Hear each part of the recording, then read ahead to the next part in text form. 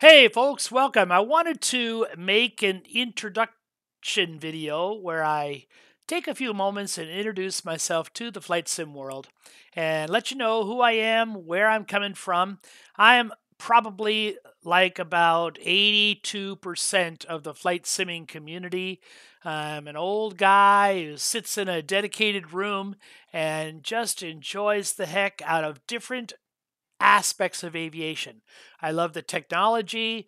I love the freedom. Um, I love both GA and commercial flying. I am a real life pilot. I spent a lot of years in the U.S. military, and I made a short video. Uh, actually, I made a 14 minute video of my flight sim setup. And what I want to do is play that for you now, not the whole 14 minutes, but the first seven minutes of it, which will introduce you to where I'm coming from. But what I'd like you to notice in the background is exactly how long it takes for Microsoft Flight Simulator to load into a flight. And the reason I want you to note that is because today I'd like to introduce you to two, in my opinion, critical pieces of software. One is MSFS add on linker, which you can get from flightsim.to for free. And the other one is called Shell Extension Linker, which creates symbolic links. And uh, these two files working together will cut down the load time of Microsoft Flight Simulator. So go ahead and enjoy these first seven minutes of this video, and then um, in while you're watching it, uh, in the background, imagine it takes all this time to load up into a flight, and uh, you could make your breakfast, cook your eggs and bacon, take your dog out for a walk, all those things uh, instead of what you really want to be doing, which is flying an airplane. My name is Regal Eagle. I'm also known as Seattle Aviator. My real name is Brad. I live in Minnesota. This is my world of flight sim aviation. Enjoy. Hey, folks, I'm hoping you'll take just a moment and ignore the junkiness and ugliness of much of this room as it will be put more into place in the near future. But what I wanted to introduce you to is my new flight sim setup starting this 85 inch mega television. Now, it's not my first venture into big screen. This 65 inch used to be my main display there straight ahead of me, and now it's my secondary display there's the 85 inch kicking up Microsoft Flight Simulator. There's a smaller 32 inch, which I'm not sure exactly what use I'm going to put that one to. And then just for kickers, there's a fourth screen over here. Now, generally speaking, you can never have enough screens, especially in the old FSX days when you could have an exterior view or a view on an overhead or a, a particular view that you wanted to have always available, having that extra screen really comes in handy. Now, so here's the main screen. You can see that my Garmin GNS 530 made by RealSim Gear is connected using FSUIPC. We're just going through the last few stages of setting up Microsoft Flight Simulator. Here on top, I have my Track IR uh, sensor, which I wear on top of my ball cap. And I also have my Razer headphones. Just below that is the Bravo throttle. Right now it's set up for a Boeing two engine jet, but of course you folks who have it know that you can configure it for four engines or for single prop or twin prop or a, whole lot of configurations. But uh, this is the Bravo th throttle and my favorite trim wheel. And my number one landing gear I usually use is the Bravo throttle gear and the flaps set on the Bravo throttle. When it comes to tuning the radios on a small plane, I use this uh, RealSim Gear GNS 530. There's no screen on it. I depend on the screen in the cockpit view for my screen, but I can roll around the CDI and the HD uh, and uh, heading uh, bug and the altitude bug and the speed bug, and I can tune all the radios. I can flip flop the VF, the number one com, number two com, number one nav, number two nav. Um, I can move, zoom in and out on the range. I can enter waypoints. I can enter VORs. So this really is my go-to, and I'm really happy with that purchase. I also have a number pad on the side of my mouse. And what I use this for is when I'm using default ATC and I want to respond with a number, it'll have a, a list of numbers. I can respond one, two, three, four, five with the numbers on the number pad. Um, and it's a quick, easy way of talking to ATC in a hurry. Uh, so right below the Bravo throttle is my keyboard. Boy, I wish there was a way of flight simming without the mouse and keyboard, but they are certainly a necessary part. Uh, not plugged in right now, but available for use are my uh, Saitek panels. Um, they're there for future use. Um, right now, the throw distance, the reach distance is a little on the far side. Uh, I, I can reach them. I can turn on the master power and hit the ignition switch and do some other things, but it's a bit of a bit of a distance. Now, for Airbus aircraft and for certain certain other applications, um, well, I'll tell you, one half of this I always use. These two outer levers become my vertical and my horizontal view axis. So on an exterior view, no matter what the simulator is, I can spin the plane around on the two axes using these outer throttle levers. Now they're not used very often for aircraft because I don't fly four engine jets that often. But for a two engine Airbus, this is perfect. Notice its position right where an Airbus throttle would usually be, and I have all the functionality. Uh, if if I ever should have a four engine Airbus aircraft, it's all here set up uh, and ready to go. Now, one of my joys. Well, here's the uh, Gladiator NXT joystick, and I don't have any aircraft controls on this. I have a my uh, hat and my uh, view sw- switches are set up for views. Uh, sometimes, if I'm using Pushback Express or uh, Better Pushback, I use some of these buttons for those uh, commands to external programs. Uh, I have in the past used this throttle for not only uh, view panning, but also as a throttle in a single engine airplane. But I don't do that much anymore.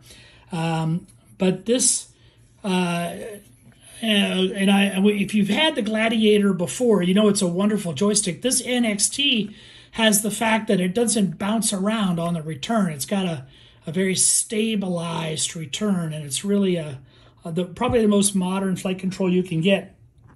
Along with the pendular rudder pedals down here, um, toe brakes, rudder left and right.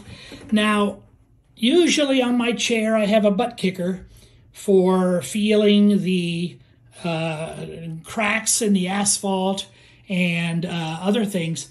But right now I don't. And here's one of my pride and joy. Notice it's directly available to my left hand. This is my Orbweaver. And the Orbweaver, I got this idea from another flight sim- simmer. And this is my main view controls. Upper left corner toggles between exterior and exterior. Then the next nine buttons, four on the top and five below it, these are the uh, controls that I have set up on my own. And then the 10 down here are the default views. So if I'm first starting off with an airplane, I'll start with the default views. And then if I find out I want to have a custom view for something, then I'll create it and use these top nine buttons. But the top one uh, I should say, the top upper left corner and also this pad down on my thumb. Those are both toggles that will go inside and outside the flight deck. So here we are. We're all set up for a flight. Uh, my last flight was Isn't that amazing how long it took to get that flight simulator finally kicked up? Well, that's what we're going to avoid today. Let's say you just bought an add on, and if you're like me, a lot of them come from Orbx. Here's the Orbx. Maybe you got them from the community downloader, maybe you got them from the fly by wire installer, all sorts of different places. But wherever you get your maybe you got it from the sim market. Maybe you got it from uh, FSDreamTeam. Maybe you went to flightsim.to but you've got add-ons from all sorts of different sources. And those sources are monitoring your add-ons. For instance here at Orbx i can go into my products and here's a list of everything I purchased from Orbx. Isn't this extensive? All sorts of programs and uh, monster monster and they're all being monitored and when you buy them you choose a library. So here in settings and library i basically have six files and i'm going to say these kind of out of order. Uh, my first one is base. Base is for utilities and global products.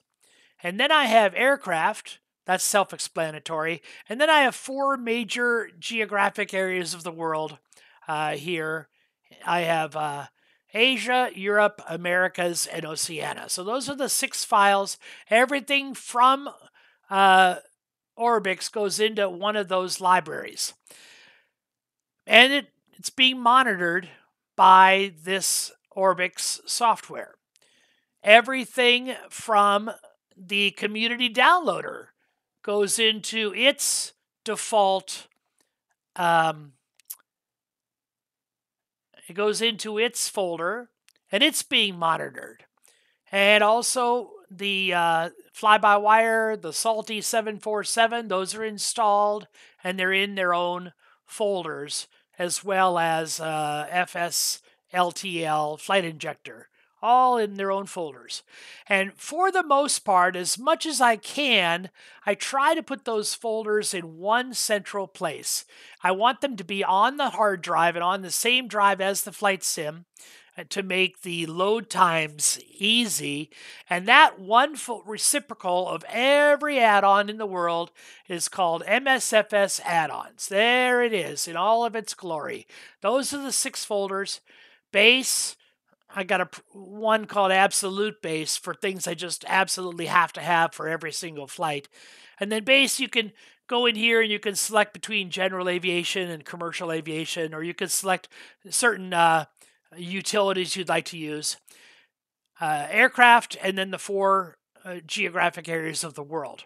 And when you go into one of these, what you're going to see is some unnecessary files. Here's a file, MSFS. I would love to just push Americas and then have all my America files right here. But that's not the case because when Orbx makes a file, it creates this subdirectory called MSFS. And that's not the worst of it.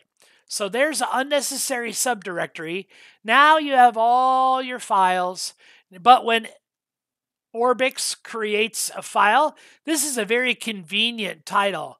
The uh, Kelowna International Airport, uh, Charlie Yankee Lima Whiskey. That sounds great, but when you click on it, what do you get? You get another unnecessary layer of file. This in this case it's community and you click on that and finally you come down to the guts, the big file with the stuff in it there's the stuff.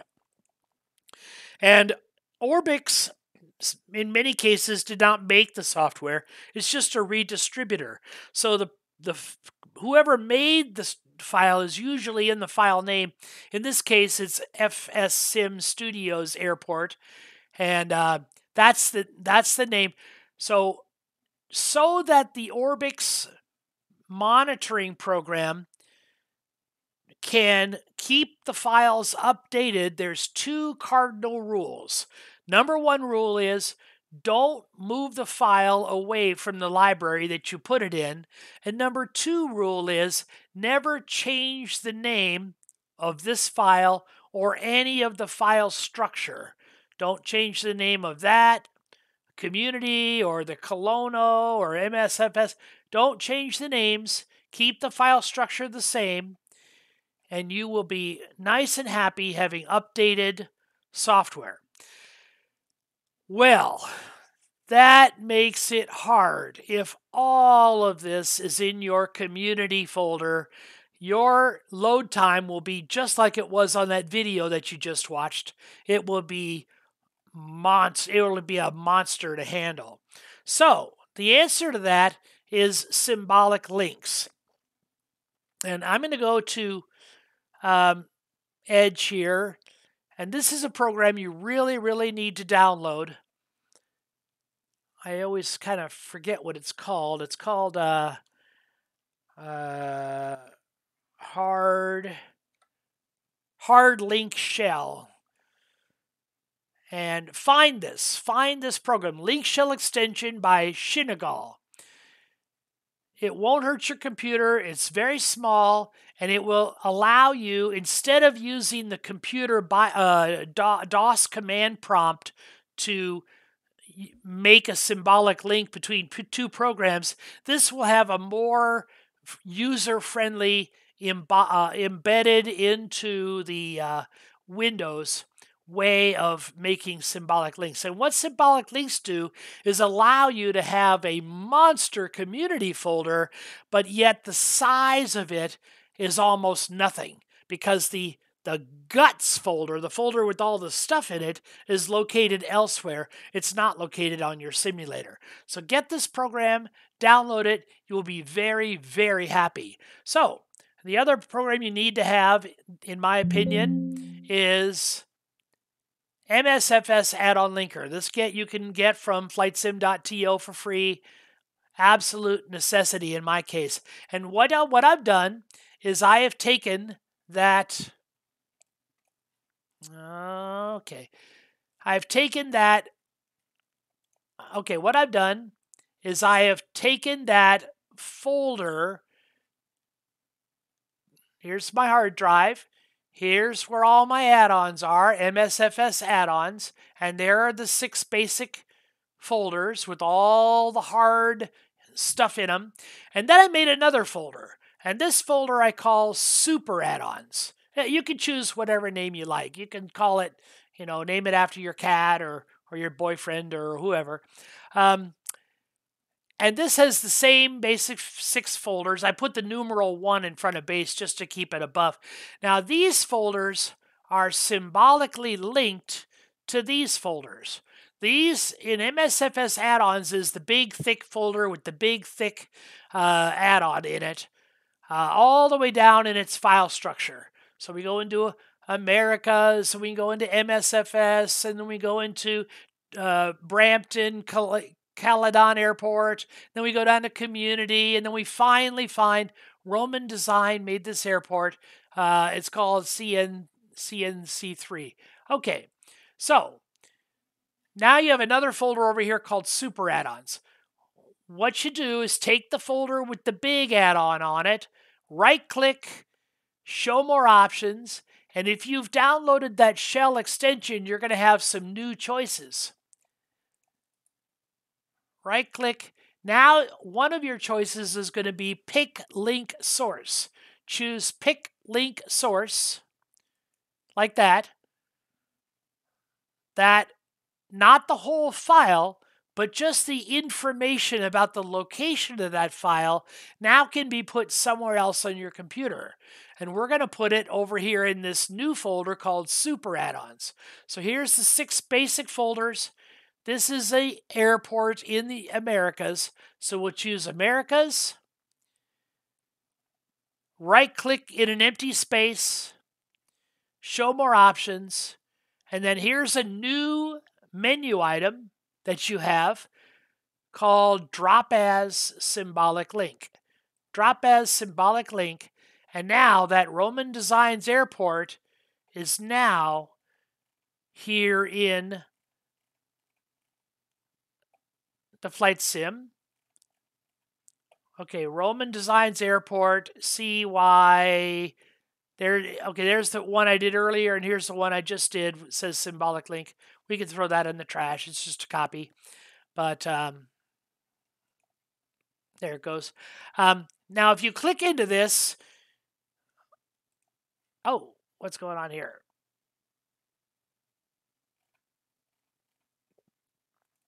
Oh, it's empty. Oh, goodness. Make sure, well, just make sure. I will make sure that it's here. I don't want to go. Let's just delete this whole thing.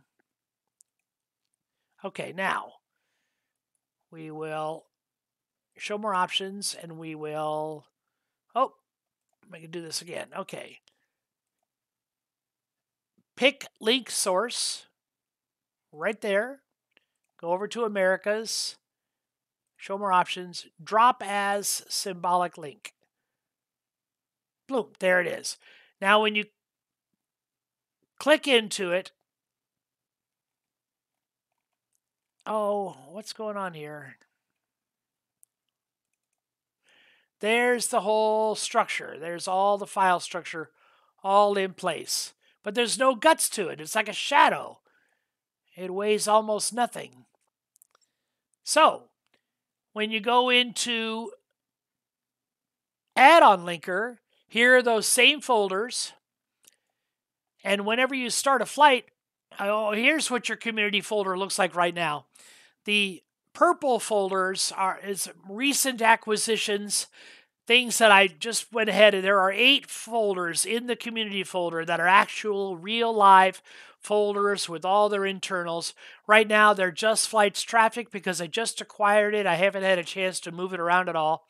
Uh, FS2 Crew's Command Center. This program is rather finicky. It likes being where it's at. And some programs um, the maker of the software has made it very difficult to put the program anywhere but the community folder. So those are in purple. Then the blue ones are linked into the community folder from a different location. These come from FSDreamTeam, and they're located on a different part of the uh, computer, but they're also joined by symbolic link. And then the ones that I control directly here in MFSS add-on linker are the ones that are in green. There's one file that's uh, needs a little help. Anyway, so over here, let's say we're, we're planning a flight today in the central United States. So I go to base and I choose out what I want to have on this flight. I'll use the Flow Pro app. I'll use the Fly Tampa libraries. Whenever you have a flight there's and you have a library, always include the libraries. You never know if libraries are going to be needed or not. Uh, I want Black Square to use real taxiway signs. There's another library. Floyd's Clouds is available at flightsim.to. Get Floyd's Cloud. You will not regret it. It's a wonderful set of, uh, of clouds. Uh, base coverage for photogrammetry cities for the United States. You'll want that. Now, don't ever change these names because then you won't be able to monitor them.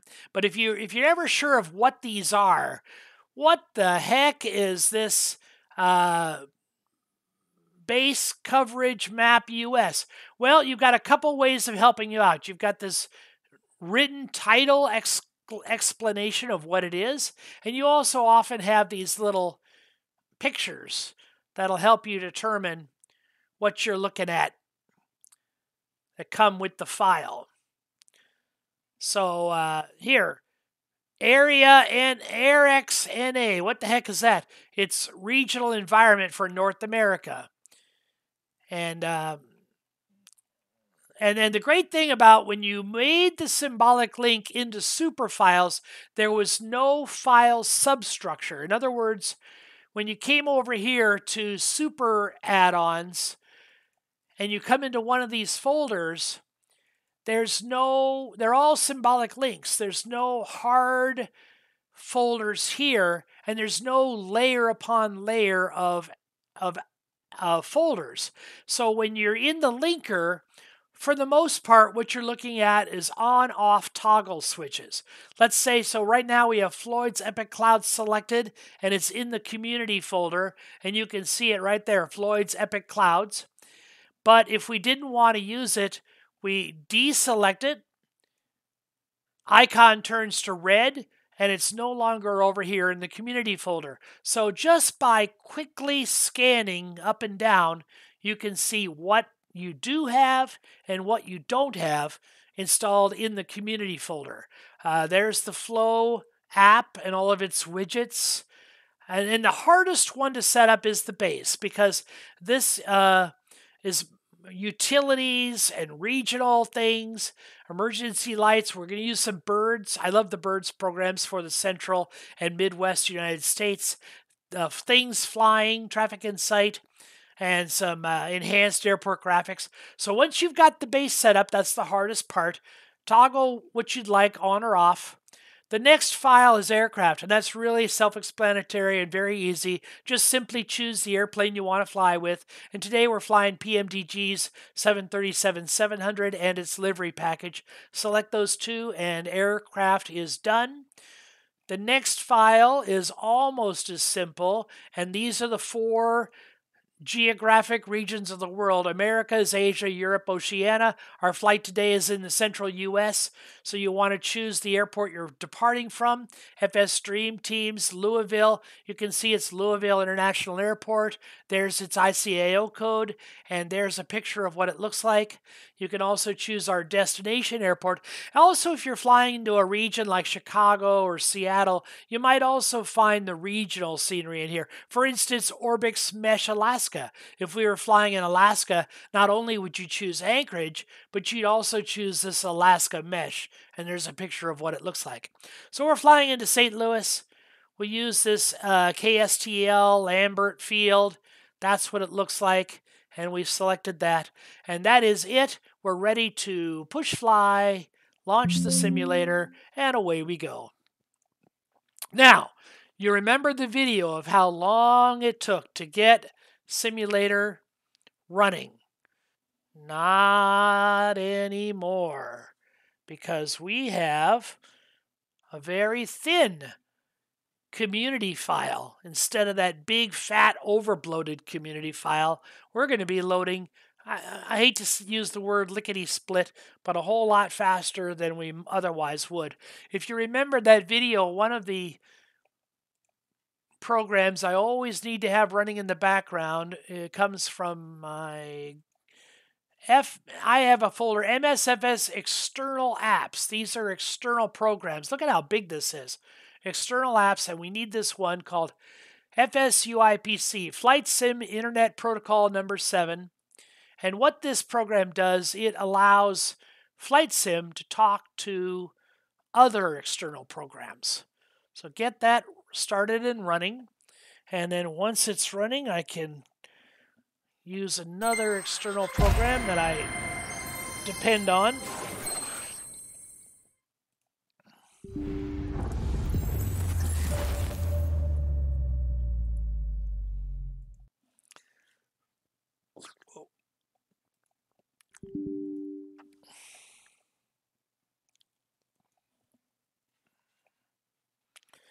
Okay. It's uh it's having some growing pains. Let's make sure that that uh, air traffic program really depends on that FSUIPC. So let's make sure FS and it, look if you look at the screen in the background, look at how fast we're loading in. Just amazing. I used to go out and make breakfast and Okay, FSUIPC is running. So we shouldn't have a problem with our air traffic control program. Oh, there it goes. There it goes. Today's flight from Louisville, Muhammad Ali International Airport in Kentucky, over to St. Louis Lambert Field, St. Louis International. RAAS Pro is an automated runway environment awareness program made by a company called FS2 Crew.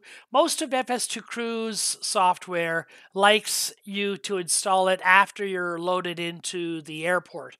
And what I like to do is once I get myself on the airplane, I want to take care of all the computer related issues first. And that allows me to put that all aside, compartmentalize my brain, put that all aside, and then I can get into the act of enjoying a um, undistracted flight experience to as much a level as of realism as I can reasonably achieve. So uh, we'll certainly do that. Um, let's see what else I want to get started here.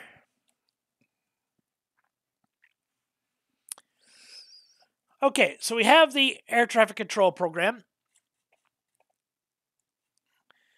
And one of the late uh, features that's recently been incorporated is the ability to bring your flight plan over from SimBrief. So here's our flight plan. We used to have to type it all out. SimBrief, here we go. We are departing on runway 29 using the Apollo 6 departure, arriving by way of the Boosh 3 arrival to runway 30 left. Our transitions are Apollo and VOR called Papa X-Ray Victor. FS Realistic. Connected. We are landing on runway 30 left, our approach. Now, if you look at this right now, we come in, there's no real way of getting on the runway. We don't have an approach set up. But when we pick an approach, uh, the ILS to 30 left, then we can um, load that in and we'll not only get our guidance to the runway, but we'll get our missed approach path and our missed approach holding point. So all that is very critical. Come over here to configure and you want to, if you were flying in Europe or Canada, you'd click the de use decimal instead of point. Make sure you got the correct airline selected. And that's looking pretty good. Ready to fly over here. 737 700 Louisville. We want to choose our gate.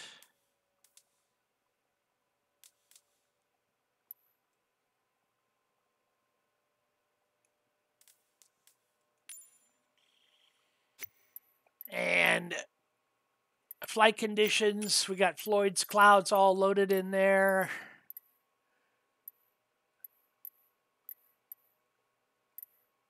Winter sky with snow. That that sounds delightful for the end of January.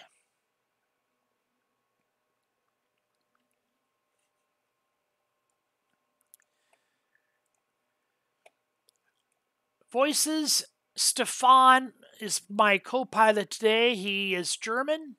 This is Microsoft Stefan. I will be your co-pilot for the flight. And his speed is set to zero. I want Stefan to speak to me conversationally, but you'll notice that most people in aviation, myself included, always speak a little fast, so everyone else's speech has been accelerated.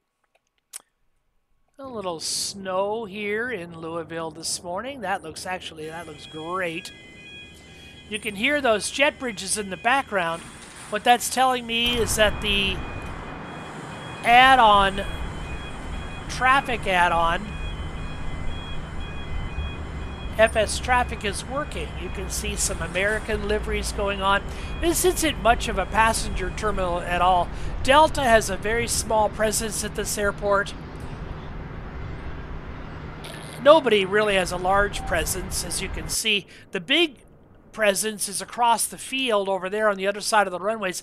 That's United Parcel Service. This is UPS's domestic hub. So let's uh, get the jet bridge attached.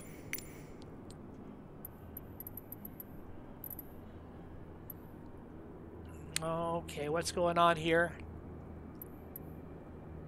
It doesn't like our location for some reason.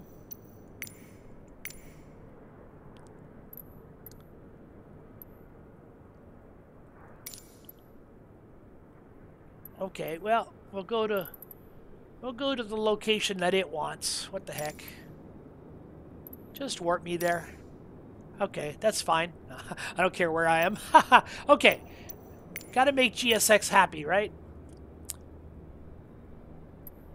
Operate the jet bridge.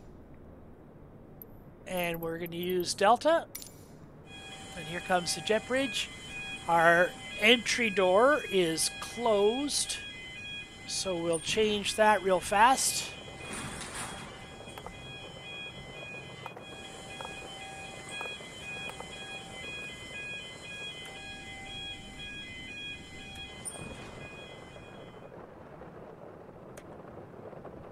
You can see the jet bridge is open, the entry door is open, and the door to the outside is open too. We're actually even getting some snowflakes here in the cabin. And as a good captain does, I always like to just take a little time out and walk the cabin.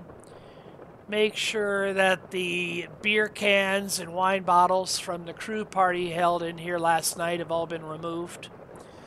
Check the aft entry here in the back and make sure these are armed and the slides are slides are armed. Make sure all these cabins won't go sliding around.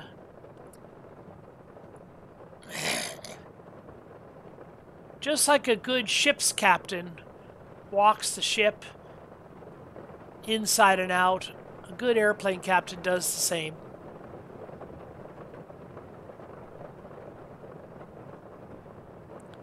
And we're now ready to enter the flight deck. But we're not ready to sit down quite yet. Let's look at the fire extinguisher. Fire extinguisher level is in the green. We can check the oxygen of the jump seat passenger here. We can check the airworthiness certificate and the registration certificates. We'll check the for the uh, breathing external uh, breathing apparatus. It's basically a chemical hood that you put over your head creates oxygen in an emergency. We'll look to make sure we have the crash axe available. It's there. We can check for the emergency escape rope. This is a, colloquially, this is called the rainbow check. And the rainbow check, you can move your eyes in the shape of a rainbow and look at these items that uh, are behind the flight deck.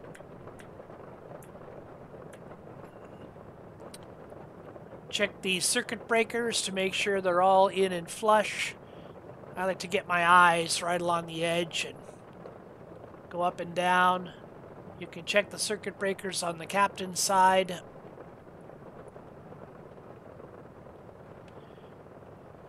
Here on the floor, we can check the gravity-fed emergency landing gear release valves. There they are. We can also see that we have an extra set of landing gear pins. We have landing gear pins in the landing gear, but if we land off airport or in a place where uh, they've never seen a 737 before, then we're ready for that. Okay, and even before we sit down, what I want to do is to uh,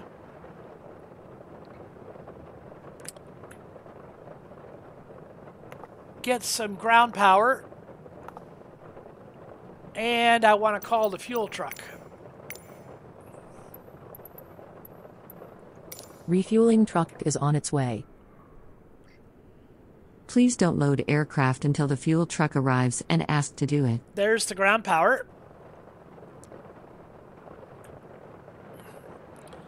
So we have ground power. Now again, we haven't even sat we haven't even taken our seats yet.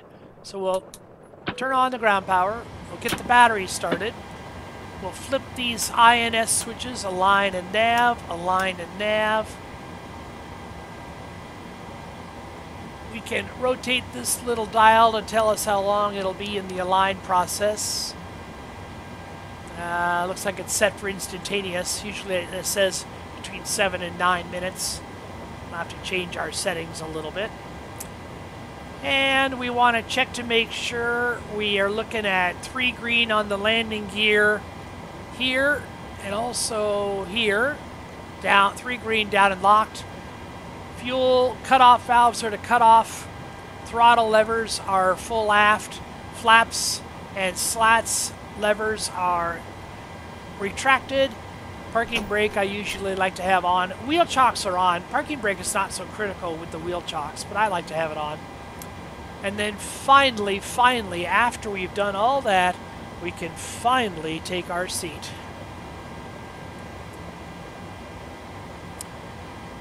Let's load those other helpful programs. One of them is going to be Pushback Express, which handles some of my ground handling.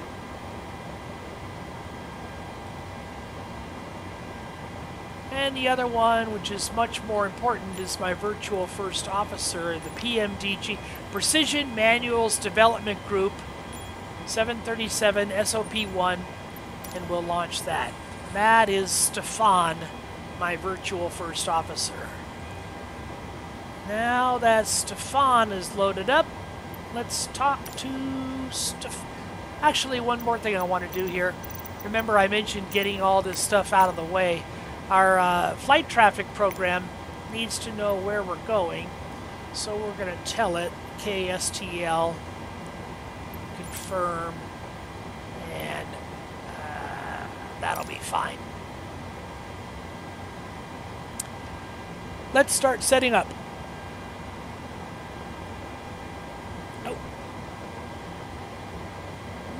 Stefan is having a problem because we're in button control and we should be in voice control.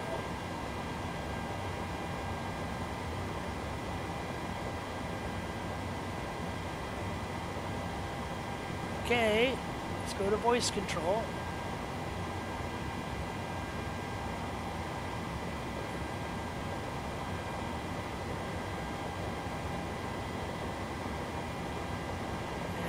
Not changing to voice control. Why is that? I'm going to load that program up in a different way.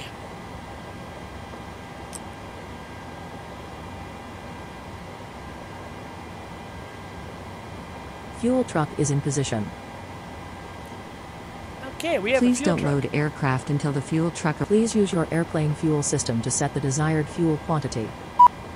Voice control. Okay.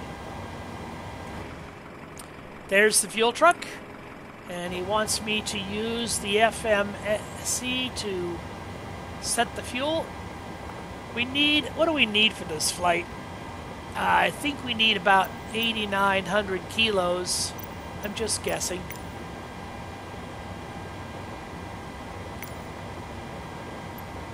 Please use your airplane fuel system to set Block the desired fuel 80 quantity. 8,700 kilos. I'm going to give us 10,000. Great. And he's happy. So, well, good morning, Stefan. Let's start setting up.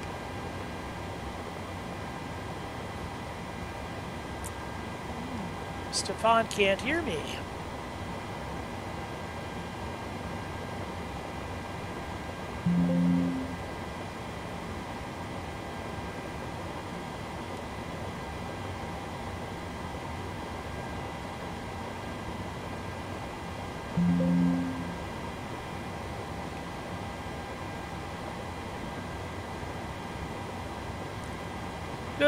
Morning, Stefan.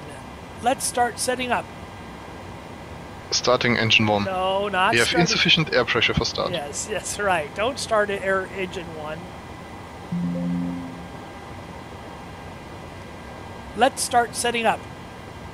Roger.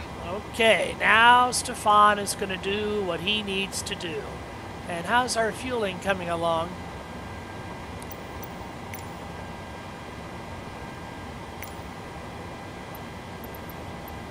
Fuel truck is in position. Are we fueling?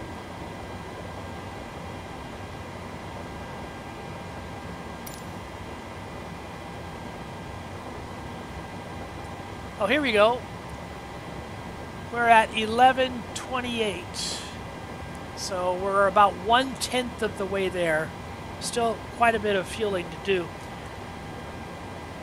We have our position light on so people outside the aircraft know that there's activity. Let's arm the emergency lights so that the anyone in the cabin can find their way out. We're going to turn on the left aft fuel tank in anticipation of APU start. We'll check the crossfeed valve. Currently it's off. We'll get that light to illuminate. Crossfeed on, valve open, goes to dim, crossfeed off, valve open, goes to dim, and that is normal. Fuel temperature is negative 7 degrees. That is some cold fuel in the tanks. Displays are set to auto and normal. Navigation switches are to normal. Yaw damper we can turn on after we get the APU started. Spoiler, flight control, and alternate valve switches are guarded. We can do a leading edge flaps and slats test. That is okay. Eight minutes in the align process. That's good. Service interphone is off. Dome lights are on. Crew oxygen is fine, showing three down and locked. Passenger switch is guarded and safety wired. We're going to turn the speaker for the NAV1 radio and the marker beacon on. This is the number 3 radio, and the microphone is set to the pilot flying side. The flight recorder switches to normal. Mach airspeed warning test system number 1. That's fine. Mach airspeed warning test system number 2. I'm out for the That's walk around. fine. And Stefan is going to do his walk around, which is great. Wipers are turned off. Exhaust, exhaust gas temperature is up. You know, usually I don't do this, but it's extremely cold outside. Uh, we're looking at an interior supply duct temperature of, we're providing 21 degrees of temperature, but the ca- passenger cabin is sitting at, uh, sitting at 17 degrees. That's not bad. I thought it would be much colder. Um, we're okay. I was going to start the APU prematurely and get the packs going, but we're, we're, we're comfortable. So I'm not going to worry about the, the temperature outside right now. Uh, bus transfer. We're on external power. We're showing 24 volts on the battery, 28 volts, and 115 volts DC and AC respectively are pro- being provided by the uh, by ground power. There's nothing coming from the left engine, nothing from the APU, nothing from the right engine. The uh, the uh, transformer rectifier units one, two, and three are getting nothing right now. So that's as it should be. Circuit breaker and panel lights are turned up. Supply and equipment cooling is on. Seatbelts are off while we're fueling. How's the fueling process going? Are we doing good? Oh, fueling is done. Fueling is done. So we can get the seatbelt sign on, turn the chimes on. Forward entry door is open. Uh, let's see here. No climb or descent on the cabin pressure. We are vented to the outside, so there's no cabin pressure. We'll do a cockpit voice recorder test. Five seconds. One, two. Came on. That's fine. Forward entry doors open. Hydraulics are not actuated. Wing and engine anti-ice are off. Probe heat is off. We'll leave those off until we push from the gate. Window heat we can turn on. Voice recorder is to automatic. Temperatures are fine. Packs are off. Play APU bleed on in anticipation of engine start. 10,000 foot altitude will probably be cleared for an altitude lower than that initially. I believe our field elevation here at Louisville is about 500 feet. Let's check that out. Let's go to one of the approach charts. I don't care which one. And if we look at the field elevation, 501, 499 at the runway. So 500 will be good just in case we need to come back to this airport right away. We'll already have that dialed in. Hi, the security and safety check are all done. Are we good to start boarding? We absolutely can start boarding. Go for it. Thanks. Okay, and we're gonna start boarding here. Request Boarding boarding. requested. yes, we'll get those fine passengers aboard. So, payload. Looks like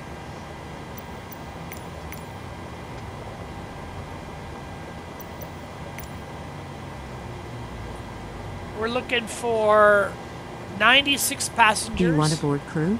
No crew. Crew's already aboard. Uh, Passengers boarding started. 96 passengers. Let's say that six of them are in first class, six out of the eight available, and the other 90 are in economy. Cargo today is 3425, so let's put uh, 1425 in the forward and 2000 in the aft. And now our cargo is aboard.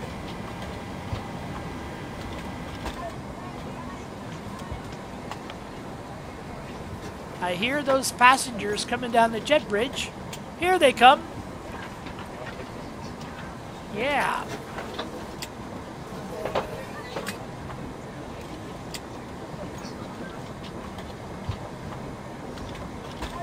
This is a fine group, of, fine looking group of people.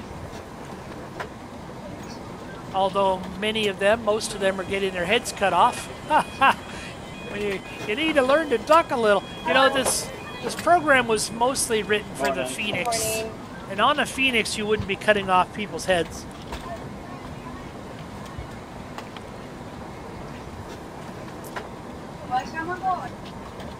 Yeah, they all look wonderful.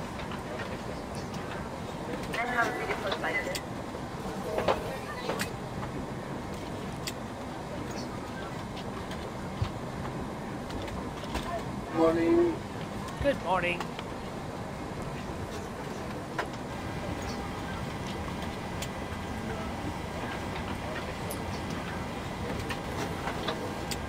Go to our uh, We are in a Boeing 737-700. Our engines are rated at 24,000 pounds of thrust. Our AIRAC cycle is current. Position initialization. We are at K, SD, S Sierra Delta Foxtrot, Louisville Airport. We're at stand number, I forget what gate we're at. Um, I can't really tell what gate we're at. I'm not going to worry about it. I think we're at B. We're at B4. I know we're at B4 but I don't think that's in the database. Nope, not in the database. Let's go to the next page and grab our GPS position. We'll enter that right there. Compared to the last position, the aircraft has not been moved, at least not much. Going to St. Louis today. We are Delta Airlines, flight number 43. And our route today is on the Apollo 6 to Apollo.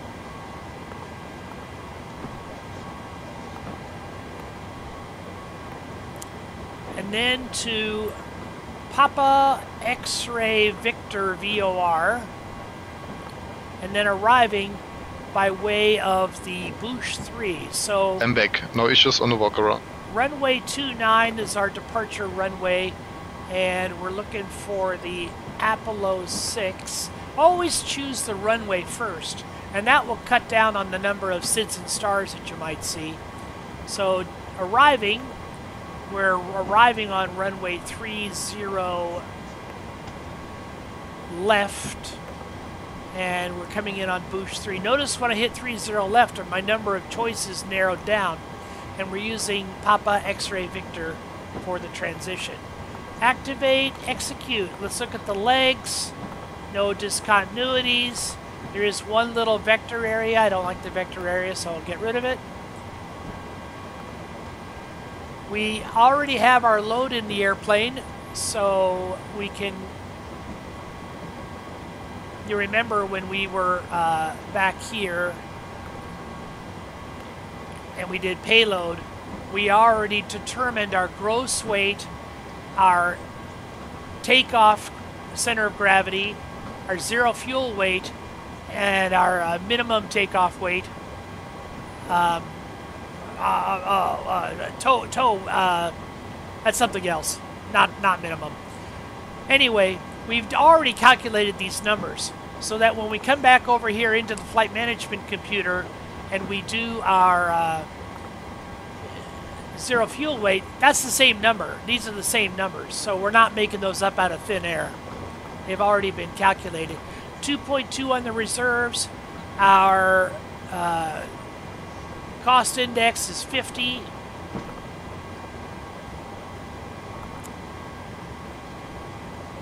Flight level is 280.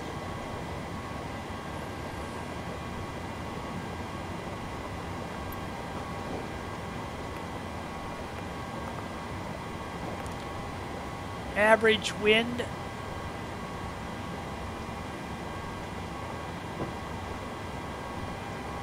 is 256 at 77.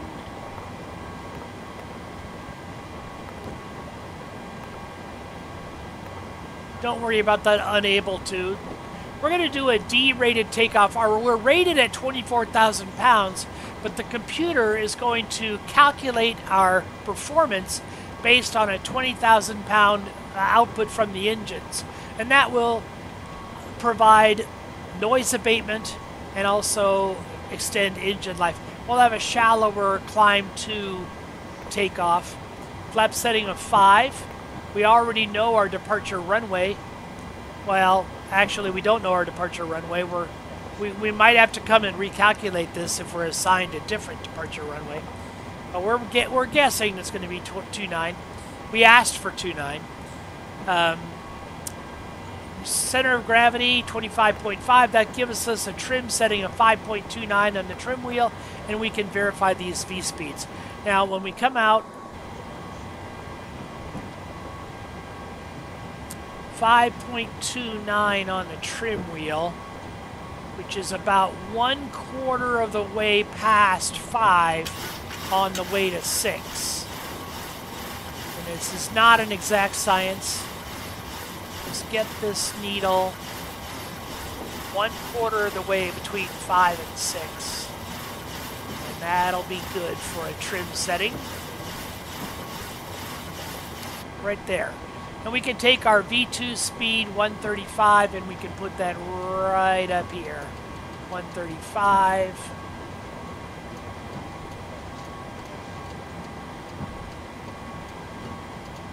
and we know our runway is 29 so we'll set this here and pilots use a number of little tricks to help them out um, the actual runway may not be perfectly at 290 degrees and this doesn't have to be perfect either this the reason we're putting this up here is just to basically remind us where we're going so 290 in the heading just as a mnemonic device and I'm guessing we're going to be initially assigned 10,000 feet, but that's not a cleared altitude.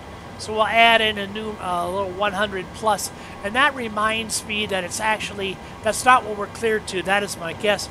A couple of other things to remind us. Notice here on the yoke, we've entered 043 on this little clicker, and that reminds me that we are Delta flight number 43. So all sorts of little trickery to help us remember uh, remember where we are and what we're supposed to be doing. So the programming of the flight computer is complete. Let's do some safety things. Let's do an oxygen test. That's fine on the captain's side. We'll come down here before we start the APU. We want to test out the squibs. We got the squibs for the APU fire bottles and the squibs for the engine fire bottles. Those test fine. We're going to test the fire detection system. That is fine. And we'll test the do an actual fire test.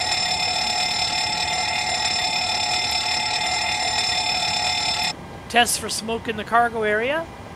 That test is fine. We'll do a ground proximity warning system test. And while that's going on, I'm going to test the autopilot Flight disconnect slow. on the pilot flying side, number Pull one. up. And number two. Wind shear. Wind shear. Number one. Wind one. shear. Terrain. Terrain. And number Pull two. up. Airspeed low. Airspeed low. And I'm going to come up here and do a mock, a stall warning test. Number one and number two. And that is fine. So we're looking really good.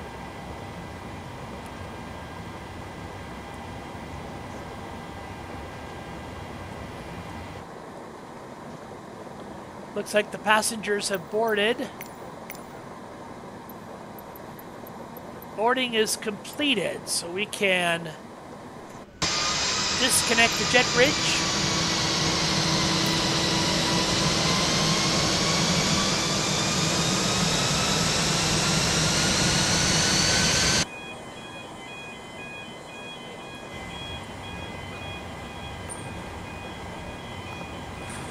Close that entry door. There it goes.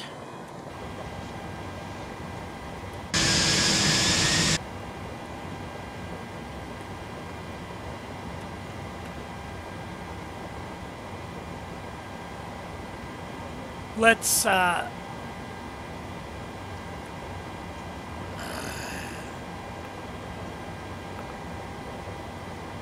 get the APU fired up. Turn the anti-collision light on. Actually, before we get the APU fired up, has Stefan come back from his walk around yet? I hope so, because I pulled the jet bridge. I hope that Stefan is back. Um, well, let's say that he has, so uh, we'll get the APU fired up. Well, actually, let, let's talk to Stefan. Stefan, are you ready to do a pre-flight checklist? Pre-flight checklist. Oxygen. Hi guys, here's the load sheet for you. Tested 100%. Tested 100%. Navigation transfer and display switches. Normal auto. Window seat. On. Pressurization mode select. Auto. Flight instruments. Heading 143, altimeter 2992. Heading 143. Altimeter 2992. Parking brake. Set and checked. Engine start levers. Cutoff. Pre-flight checklist completed. Okay, well, we better get a clearance. And to get a clearance, we'll need to connect to that air traffic control program. Louisville Muhammad Ali International Information November, 1456 Zulu winds are 345 at 9 or knots. Visibility less than 1 mile in fog. 300 overcast. Temperature 2, dew point 2. Current altimeter is 3024.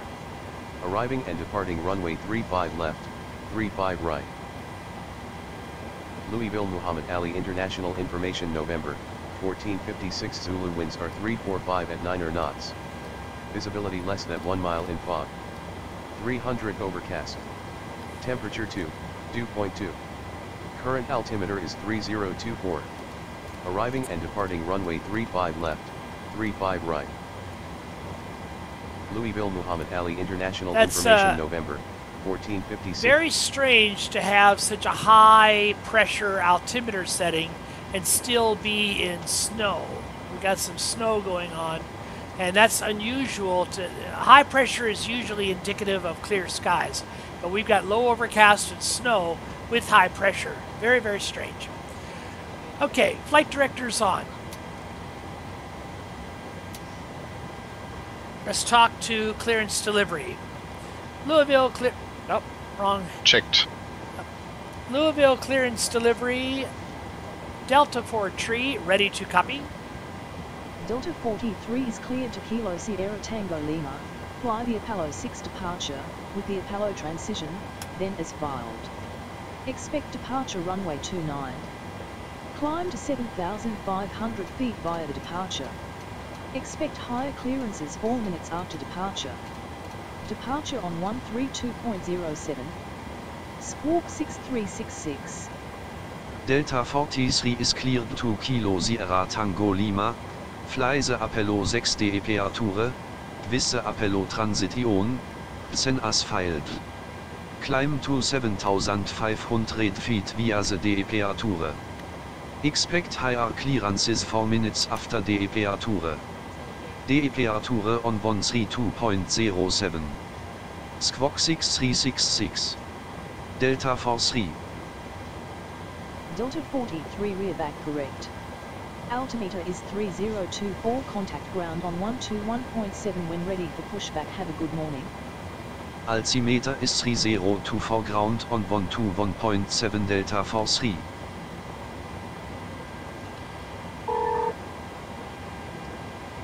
That all looks good. Let's talk about our departure. So we'll get a taxi brief. Blue Streak 5427, Roger. Uh, left there in November and uh, slowly taxed to the gate. They're just pushing now. I'm going to push them into the alley out of your way. So just uh, let them pull, push into the alley. Taxi right on it. We're heading to runway 29, We'll go to our gate, thanks. which is over here, and we are at B4 at the terminal. So basically, it looks like taxiway Gulf, Gulf, Gulf, all the way down to Gulf 1. We'll have full length of 7251 feet. on runway 29. That is our taxi briefing, and we'll talk about our departure briefing. We're on the Apollo 6, heading out of 29, climb heading 290 to intercept 270 to Gladson, then depicted route to Apollo. These waypoints, Dropa, Dime, On Me, and DOWS are loaded in the flight computer. So that is the Apollo 6 departure. Other than that, how about the rest of the briefing?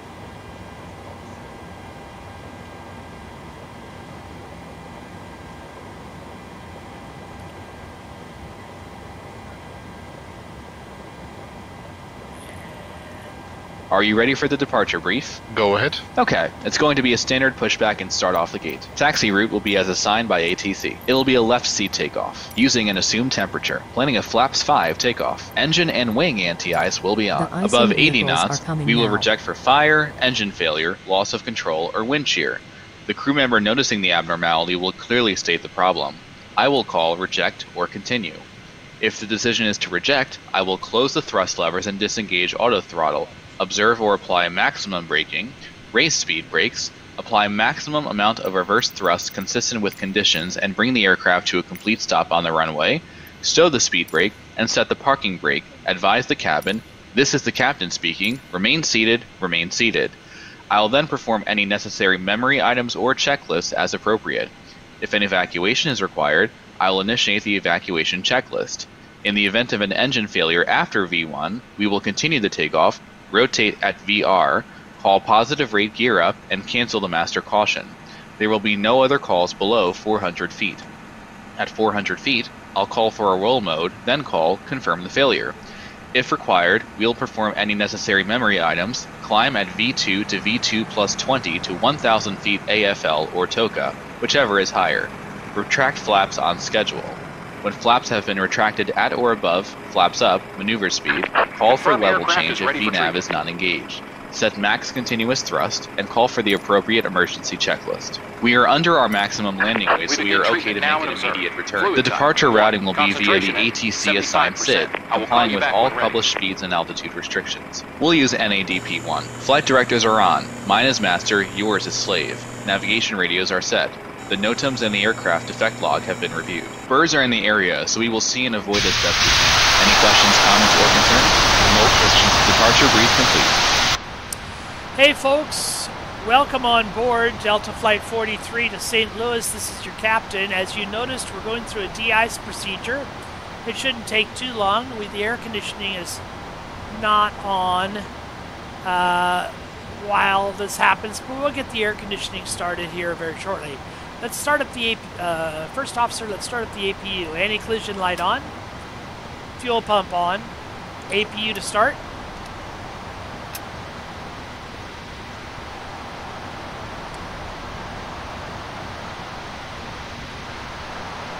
Low oil pressure light should be coming on here soon. There it is. Exhaust gas temperature gauge should climb.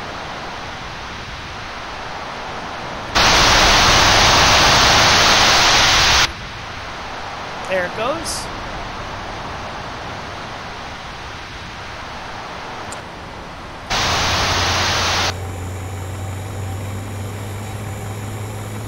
Once it falls into its operational range, we'll get an APU available. De-icing and anti-icing completed. Anti-icing code is fluid type 1. Concentration at 75%. I'm disconnected. Good day.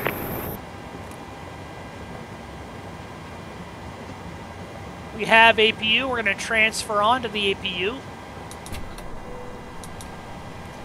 Let's take a look at the voltages coming out of the APU. 28 volt DC, 115 volts AC. It's stabilized. It's good current. Transformer rectifier units are all getting their power. So that is as it should be. Let's turn on uh, the rest of the fuel pumps in anticipation of engine start. For right now, we'll get the air conditioning on. That'll be coming off here in just a bit for engine start. But that all looks pretty good. Let's run a um, let's run a before start checklist. Before start checklist. Check. Once again, ladies and gentlemen, welcome on board our flight today. This is the lead flight attendant speaking. Please direct your attention to the cabin crew for important safety information. Before start checklist. Card in your seat Stand by. that illustrates the safety equipment on this aircraft. Brickyard 4702, just let your crew traffic off the left going to enter the gate after you vacate it. Brickyard 4702, copy. Lighted information signs and posted placards. Fasten your seatbelt by inserting the metal tip Okay, into the thanks. No problem. Have a safe flight. To release your seatbelt, Hey guys, slip the metal all packs are on board. Are we cleared to our close? policy that you keep your seatbelt fastened at all times while seated. Go for Doors it. are clearly marked with exit signs and instructions for door operation. Each door is equipped with an escape Thanks. It will be a long taxi. Locate the exit nearest you. The nearest exit may be behind you. Thanks. It will be a long In taxi. emergency, lights will illuminate the aisle. The cabin is pressurized. If there is a loss Yes. in cabin pressure, a panel will open and oxygen masks will appear. Remain seated with Yes. your seatbelt fastened and pull a mask toward you to Ah, start the flow of oxygen. Trying to tell her it's okay to close. Even though the bag may not inflate. Cover your nose and mouth with the mask. Place the elastic band around your head. Before start tighten checklist. on the end. Secure your own Before start checklist. Flight deck door closed and locked. MCP. your seat bottom cushion may be used as a flotation device. Pull up and remove the cushion. Upon exiting the V2 aircraft, 135, place your arms around the heading pull back the strap 290, located on the back. altitude This is a non-smoking 7500. Flight. Smoking not permitted in the cabin or lavatory. Cabin lights will now be turned off. Reading light buttons are located above your seat. Thank you for your V2 attention. 135, heading 290, altitude 7500. Takeoff speeds.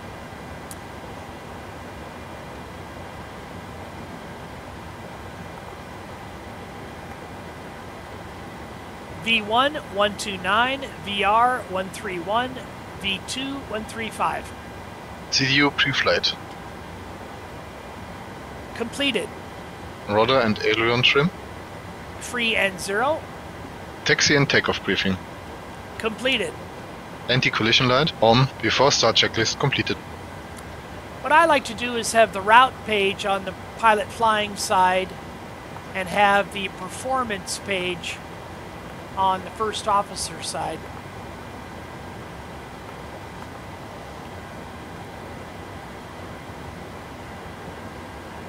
Brakes are set to RTO.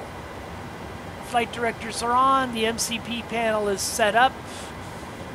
We need to get a clearance for push.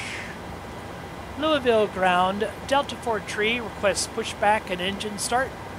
Delta 43 pushback and engine start approved. Pushback and engine start approved Delta 43.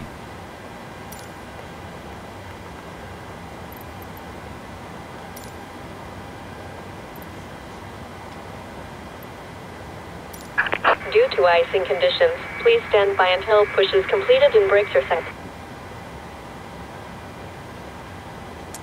Okay, we're going to hold off an engine start. What's that uh, ground power unit still doing attached? Thought we released him. Hello, Captain.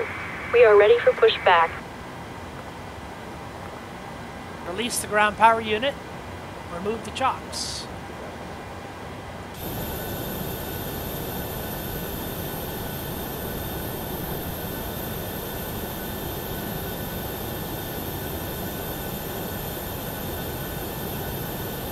Thanks. American Departure 2160 check transition over to. Juliet now. We'll take Juliet inserted. four. Position Juliet, show to 4, American 2160.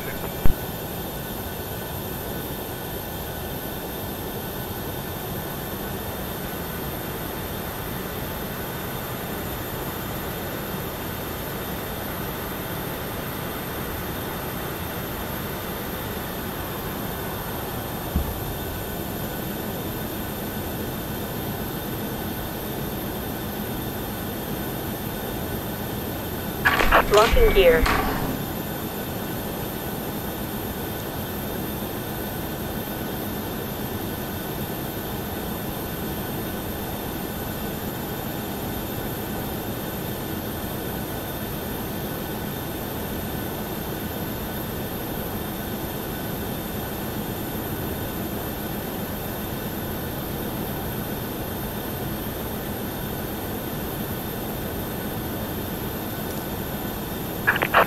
parking brakes.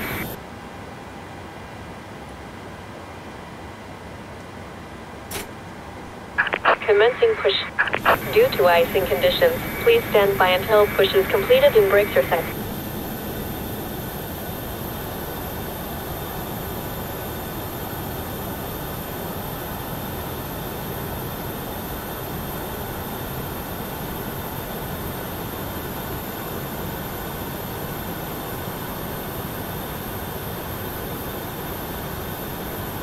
Uh, Southwest 1229, are we still clear to push back uh, gate 4? Yes, sir. Southwest 1229. Your pushback's approved, sir. Roger. Just looks like there's uh, some there's ground crew telling us there's somebody behind us. Uh, I can't see back there, but when able, go ahead and uh, push back. When able, push back Southwest 1229.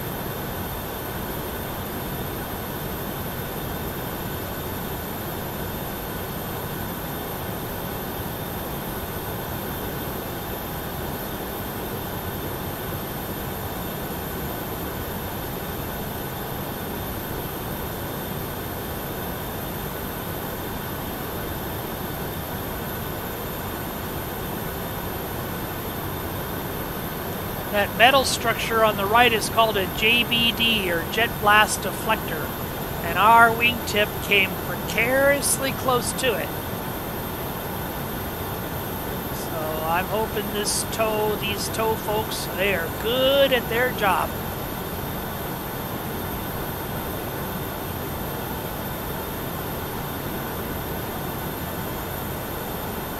Set parking brakes.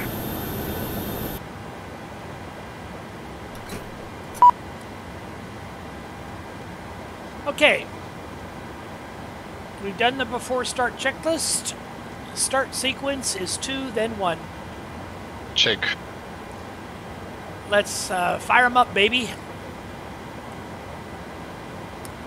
Let's get the packs off temporarily for engine start. Build our air pressure. We can turn on the pitot heat. We can turn on the yaw damper. We have air pressure for engine start. Ground on number two. Ignition on the right hand side. Our N2 is building nicely. Ground Southwest 470. Looking Over for here, 20%. push. Southwest 473. Your push off at gate 9 is approved. There goes 473, fuel into number two. We'll wait for a good light off.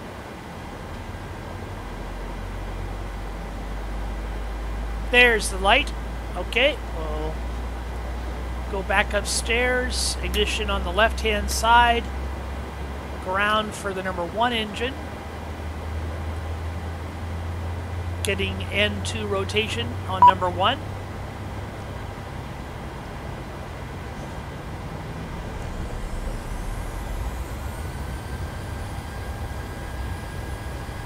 Looking for 20% N2.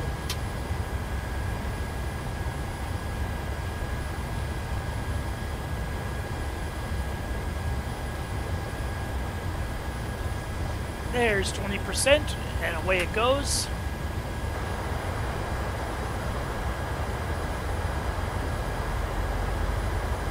We can turn on the um, transponder and the TCAS system. Put the transponder into altitude reporting, traffic advisory, and resolution mode, and altitude reporting mode on the transponder.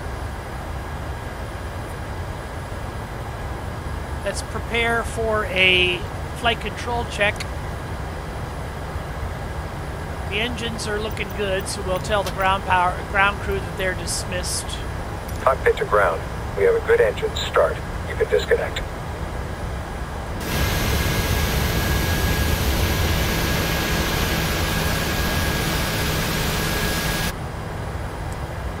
Flight control check.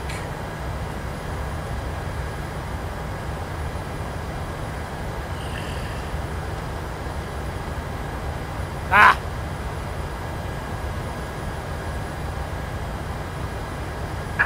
Unlocking gear. Elevator full forward, no binding, full deflection. Elevator full aft, no binding, full deflection.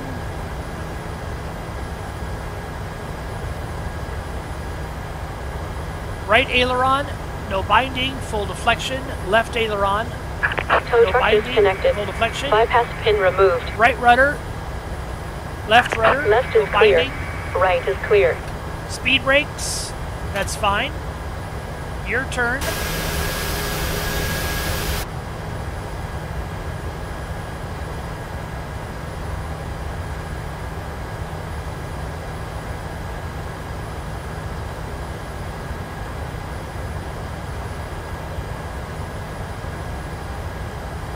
There's our landing gear pins.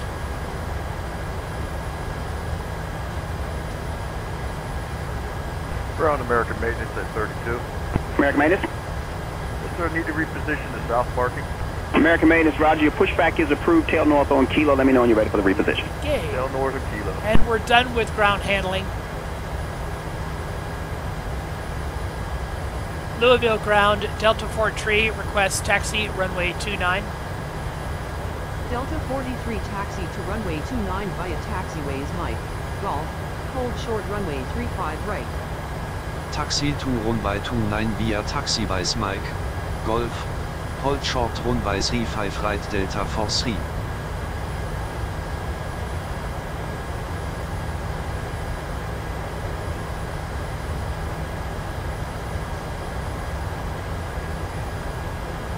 Okay, looking for 29.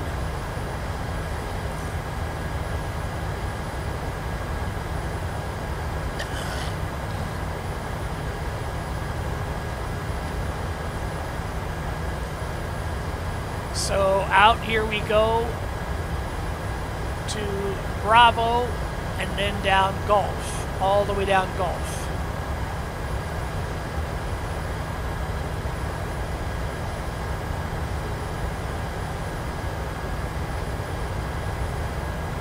Let's sting the cabin crew. Hi, it's Andy at L1. How can I help you? Just letting you know we're on our way.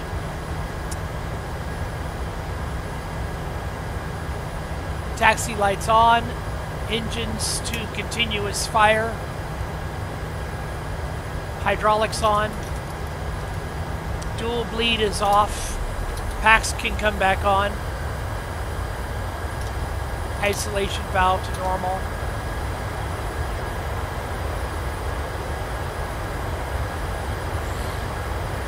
Parking brake off.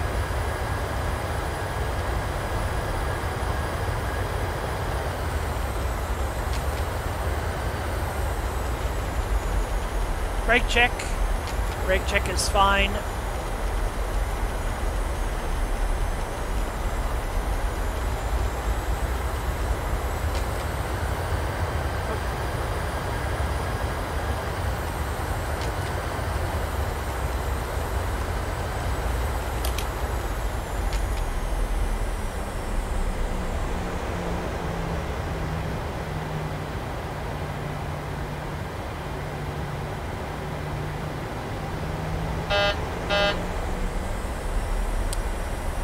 Flaps 5.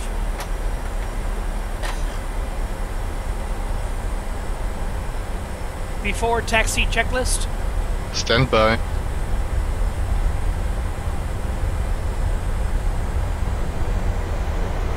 Engine and wing anti-ice coming on.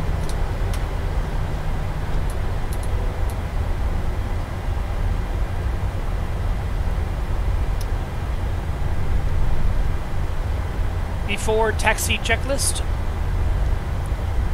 Before taxi checklist, generators on, probe heat on, anti-ice, engine and wing anti-ice are on, isolation valve, auto, engine start switches, continuous, recall, Set and checked. checked, auto brake, RTO, engine start levers, Continuous. Oh, uh, idle detent. Sorry.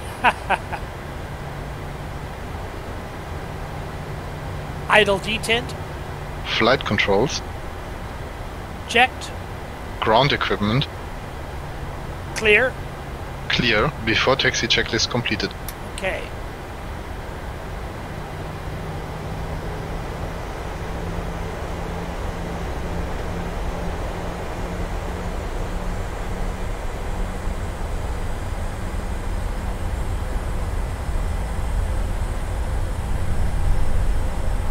Like we're not the only one flying today.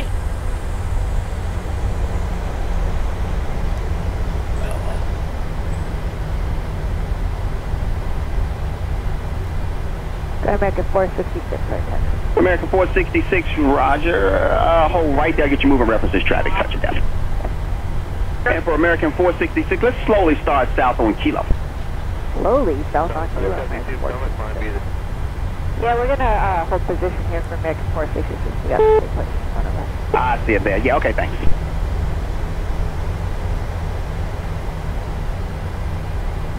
Before takeoff checklist. Before takeoff checklist flaps. Flaps 5, green light. Stabilizer trim. Set and checked.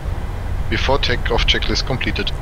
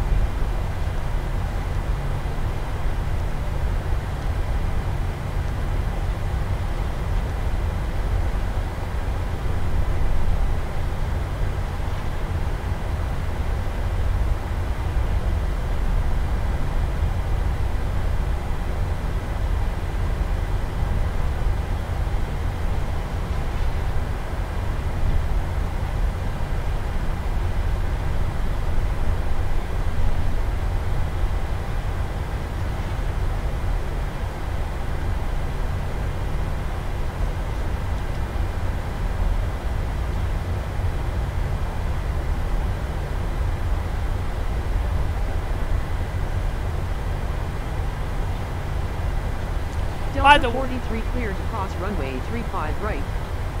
Cleared to cross runway 35 right Delta Force 3. By the way, uh, we're cleared to 7,500, but our pressure setting is set to 10,000. That's fine. We're going to be getting a clearance over 7,500 almost immediately.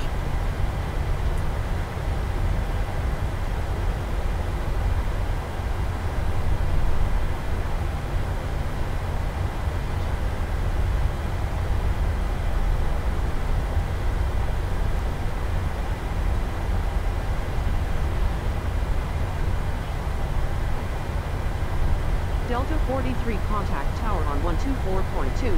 Have a great flight. Tower on 124.2 Delta Force 3.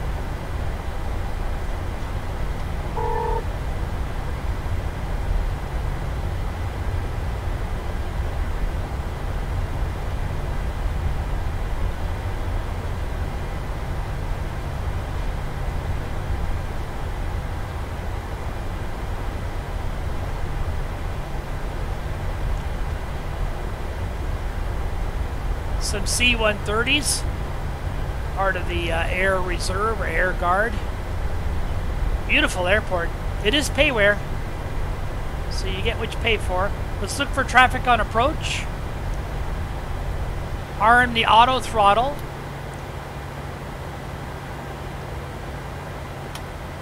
Landing lights on, strobe light on.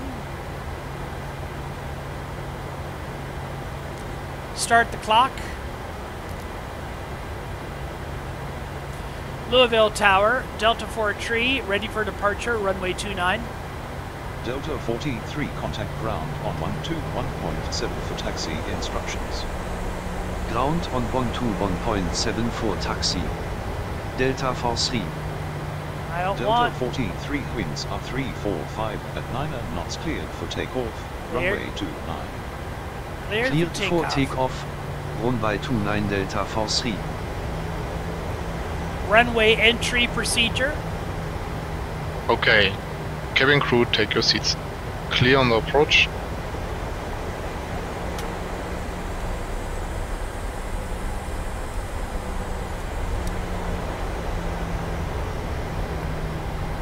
Cabin is still not secure. Come on, cabin, hustle it up.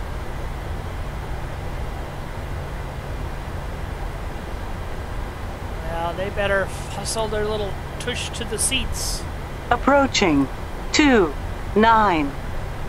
FedEx 1420 Heavy, turn right at uh, Mike 2, Sierra Charlie, call ramp control there. 2 Sierra Charlie, we'll talk to ramp, thanks, FedEx 1420 Heavy.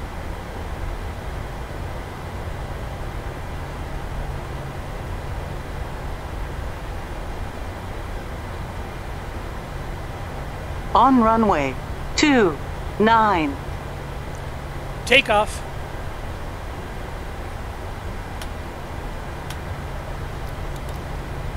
Toga mode.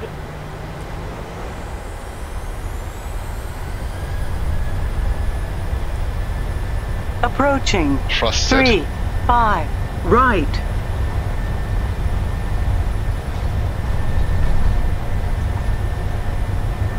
Eighty knots.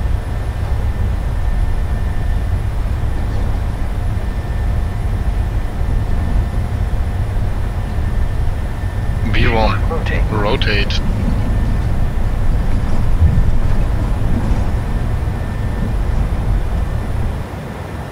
Positive rate of climb. Gear up. Positive rate. And gear up.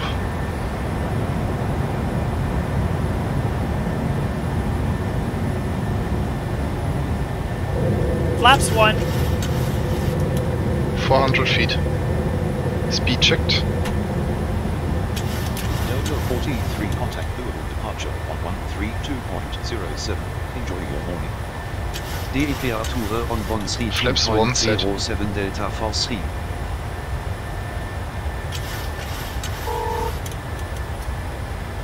DEPA Tour Delta 43 climbing to 7500 feet. Delta 43, Flaps up. Speed checked.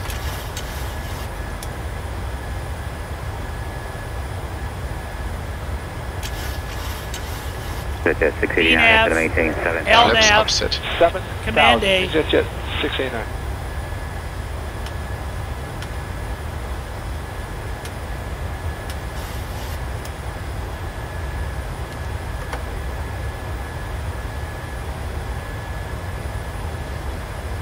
After takeoff checklist. After takeoff checklist, engine bleeds, on, packs, auto, landing gear, up and off, flaps, up, no lights, after takeoff checklist complete. Happy to release the cabin crew? Yes, please. Okay.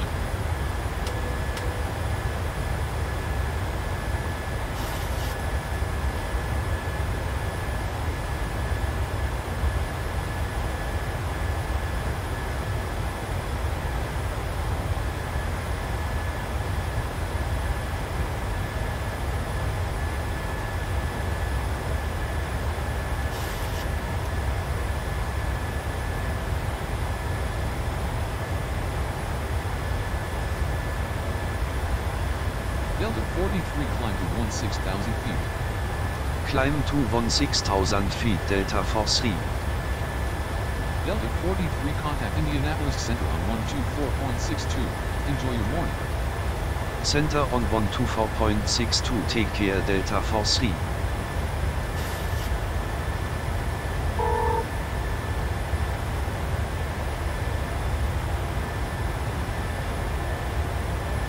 Center Delta 43 climbing to 16,000 feet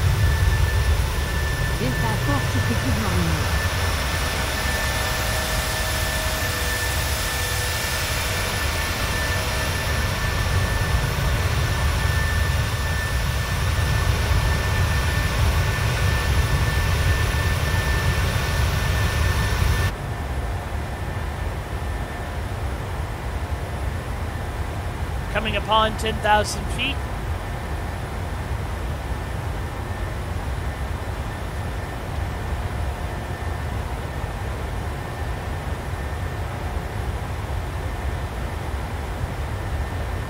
Ten thousand.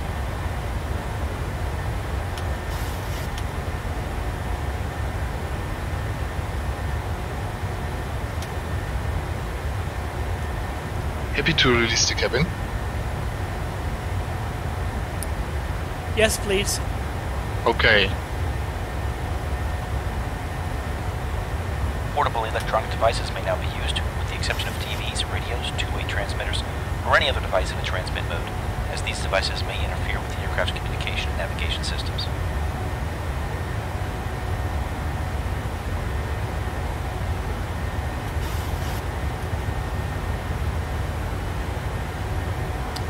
Greetings from up front, folks. Just a reminder, we have a very quick flight today, so when that seatbelt sign comes off, you'll want to take advantage of it, because it'll be coming back on for descent relatively soon. Anyway, welcome aboard Delta Airlines one more time. Uh, best service in the industry provided by our onboard crew, and wish you an enjoyable flight. Center Delta 43 climbing to 16,000 feet. Delta 43 Altimeter is 3022 Delta 43.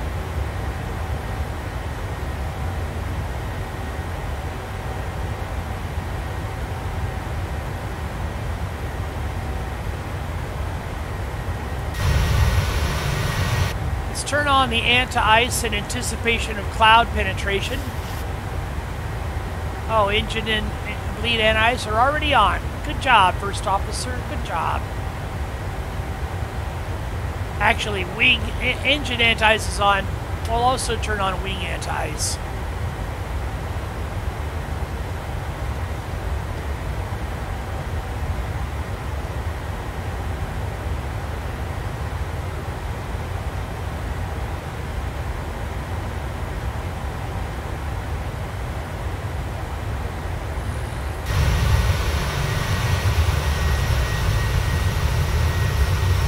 See, Level 240.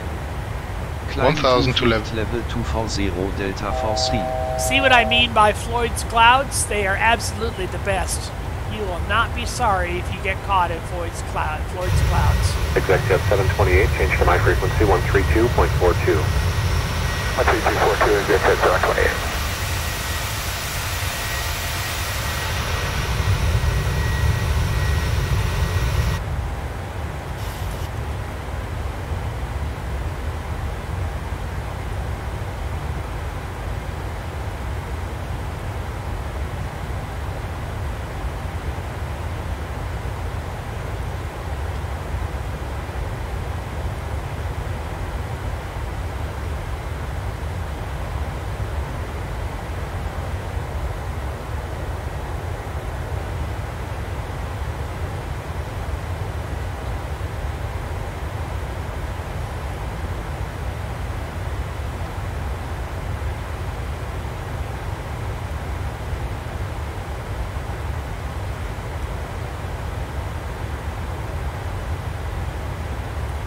Approaching top of climb. Actually, that's I'm sorry. We're not near top of climb yet. 28,000 feet is top of climb. We're approaching transition. We're transition. Transition. Standard pressure.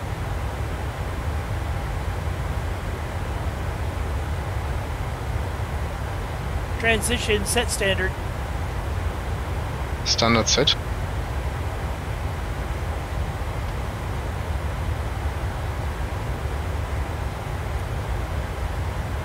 And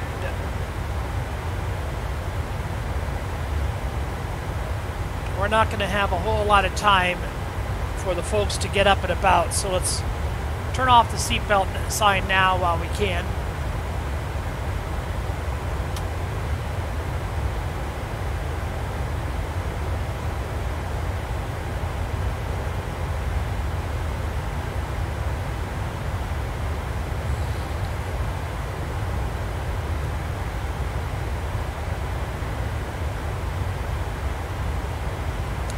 You have control. I have control. Okay, and then while you have control, I'm going to set up our descent. So let's go to. Number 104 uh, Papa Kilo radar contact position check. Volley altimeter is 29906. Maintain VFR. Stay altitude. We're going to use a 40 degree flaps uh, landing today. So we'll set that in our primary display. ILS frequency is 111.5 with a course of 303.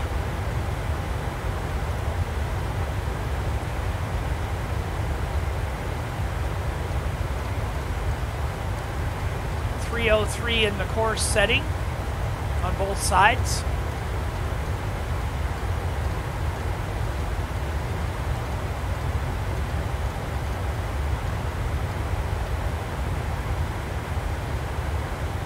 And that Delta 43 expect the bush pre-arrival with the for the ILS approach to runway 30 left 36 Louis Lambert International. Expect the bus has re-arrival with the PXV transition for the ILS approach to runway 30 left Delta 43. Okay, so 111.5 is set on the captain and the first officer's side for our reference. I'm already starting to hear I'm starting to hear a, an identifier from somewhere, but I don't think it's our airport.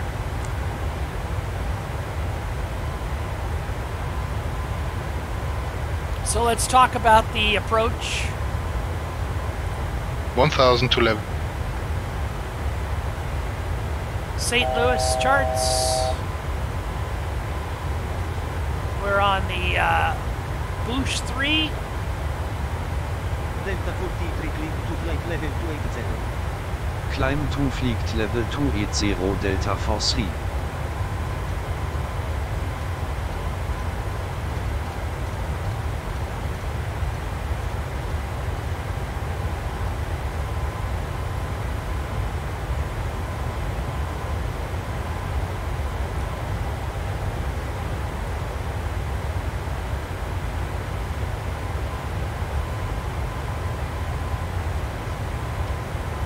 on the Bush 3 arrival to runway 30 left.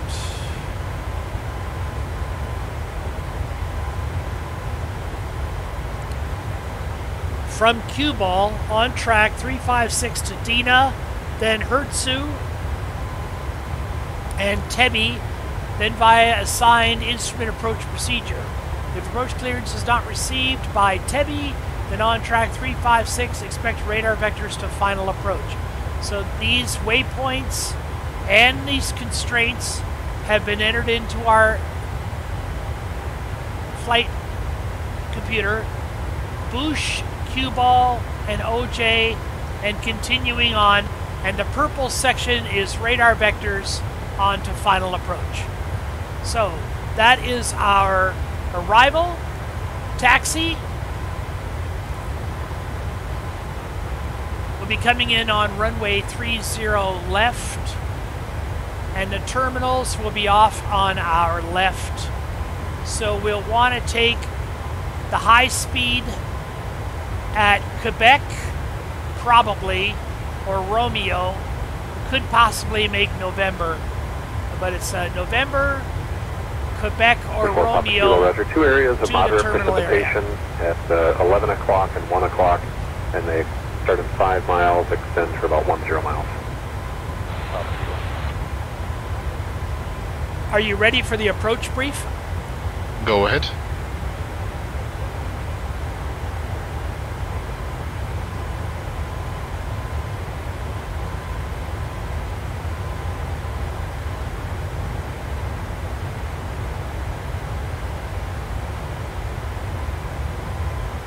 Are you ready for the approach brief? Okay. The arrival routing will be via the ATC assigned star, complying with all published speeds and altitude restrictions. For an ILS approach, planning a flaps 40 landing. Final approach fixed altitude is 9,000 feet. Decision altitude is 2. Feet. Missed approach altitude is 9,000 feet. Runway condition is contaminated, so leave the flaps down so we can have the flap tracks inspected. Taxi route in will be as assigned by ATC. We'll be arriving at a gate. Birds are in the area, so we will see and avoid as best we can. Descent speeds and navigation radios are set. Airport NOTAMs have been reviewed. Any questions, comments, or concerns? No questions. Approach brief complete. 1000 to level. Ladies and gentlemen, in just a few moments, we'll begin our meal service for the flight. Please refer to the menu given to you on boarding for the two meal choices and your beverage choices available. We request that you keep the aisles clear to assist the flight attendants to serve you efficiently and also for your own safety. Thank you.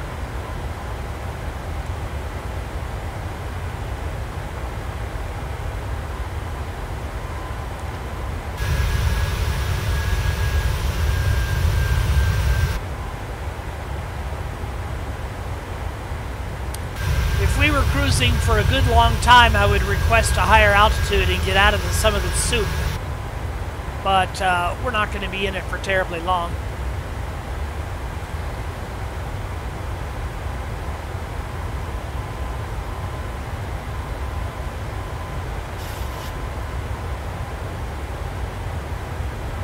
Delta 43 descend via pre-arrival with the VX to transition to cross JOICE at your about 3500 feet altimeter is 30427 Louis Lambert International.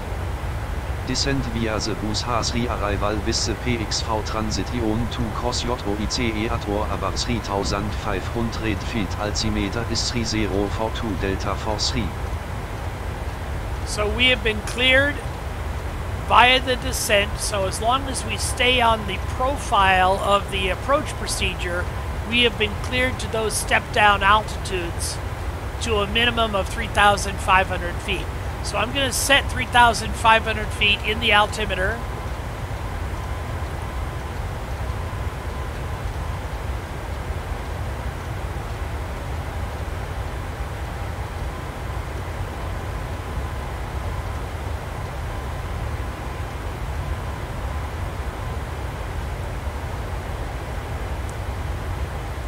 And I'm going to, what did he say was our altimeter setting was 3042?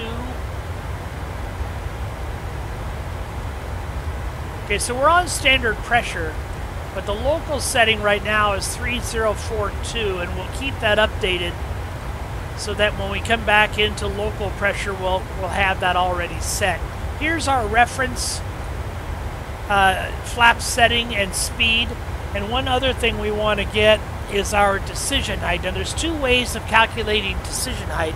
You can either let the radar altimeter decide decision height. It's 200 feet above ground level based on the radar altimeter. Airport. Or you can do what we're going to do Airport, exec 632, thanks. and use it on barometric pressure. So we're coming in on 30 left. And the touchdown elevation at 30 left is 583 feet. So decision height would be 783 feet. We'll dial that in.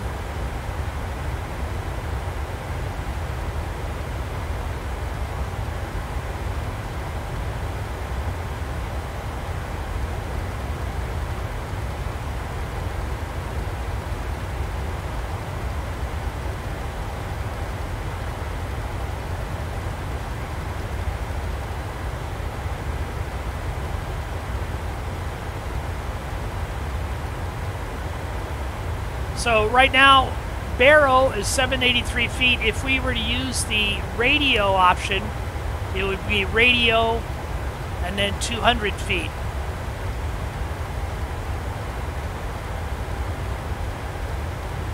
So the radar altimeter plus 200 feet would be our decision height.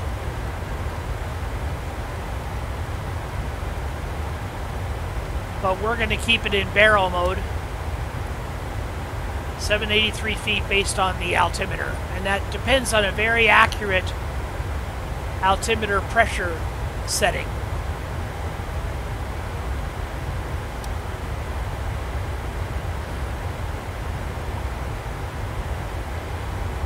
So we got those un 280 unable, 280 unable. The reason why we got the unable 280 is because the constraint at MOPO is to be uh, is uh, below 310. Well, we never made 310. We never got as high as 310. So uh, without that ability, the computer gave us the unable 280. So it was nothing really to be monstrously concerned about.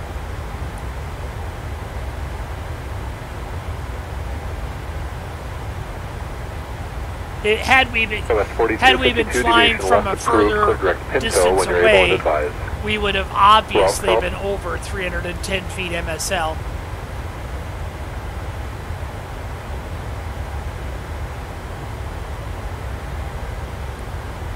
Just in case you're curious, this is how the air traffic control program is reading our flight so far.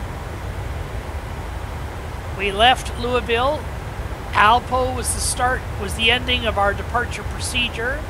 PVX was the beginning of our arrival procedure. The green arrow just before Mopo is the start of top of descent.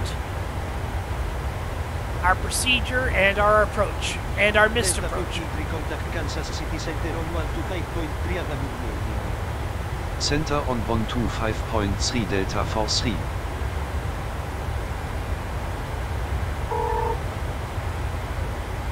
Center Delta 43 at fliegt level 280. Delta 43, good morning. Altimeter is 3042. Altimeter is 3042 Delta Force 3.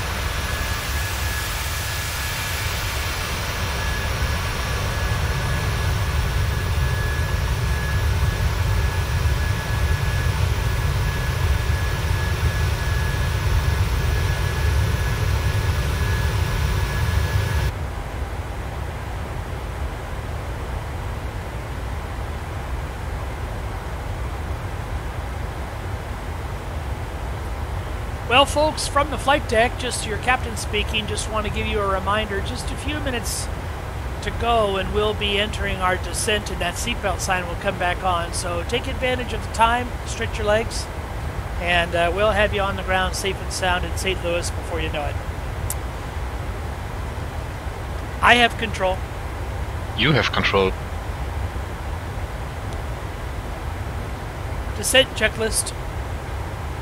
Descent checklist. Pressurization. Landing altitude is 600 feet. Recall checked. Auto brake. Level max. Landing data. VREF 131. Minimums 200 feet. VREF 131 minimums. 200 feet. Approach briefing. Completed. Descent checklist completed.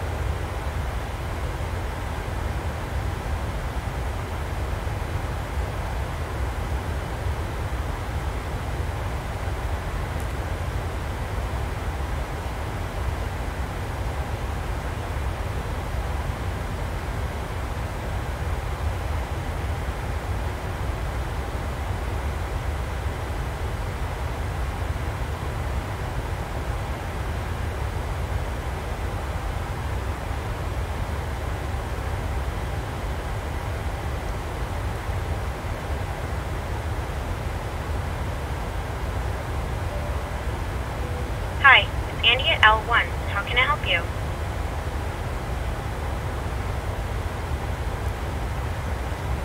One coffee, please. Okay, I'll bring them up in a minute.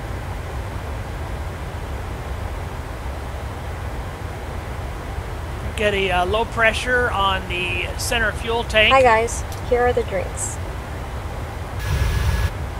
We're not running out of fuel. It's just we're using up the fuel in the center fuel tank.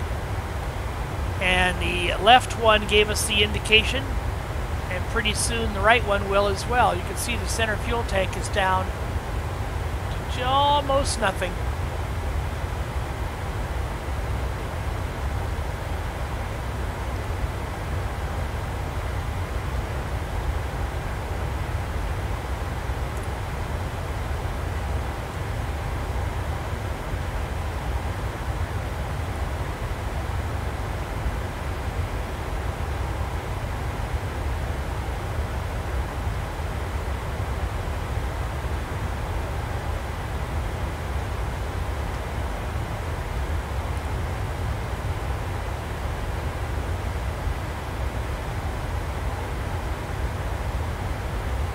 Exec Jet 632, descend to maintain 3,200. 3,200, Exec Jet 632. There's Mopo. Delta 43 slow to 280 knots or less. Willkommen Delta 43. Slow to 280 knots or less, okay?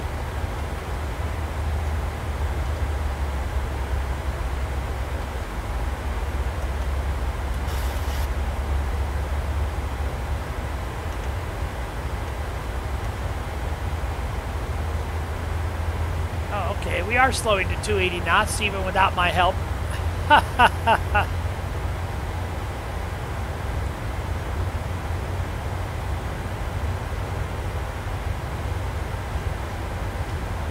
Coming upon top of descent, the engines are now at 80%, but that will uh, drop off precipitously as we start to enter our descent profile.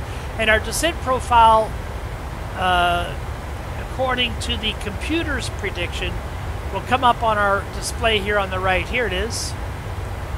You can see we're entering a 1500 foot per minute descent. Actually, it's more like more than 21, 2200 foot per minute descent.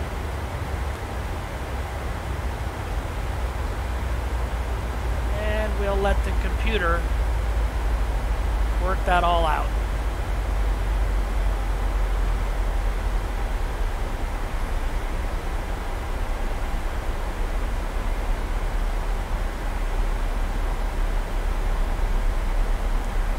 Caution for low fuel.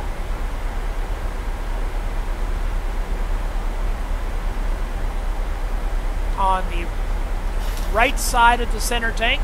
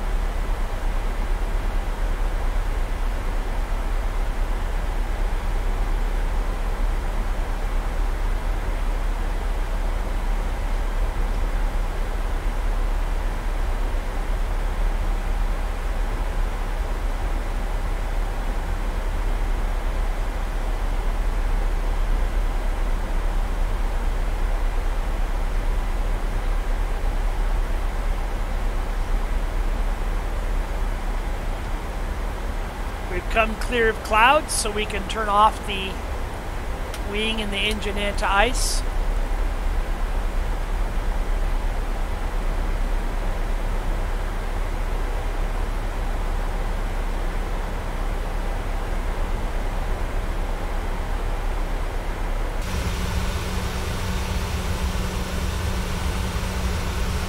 Floyd's clouds doing a great, great job. We've got some stratus above us and some cumulus below us. A great variety. We don't have, I think when we left we had some what's referred to as towering cumulus. This just looks like popcorn clouds. Or normal cumulus.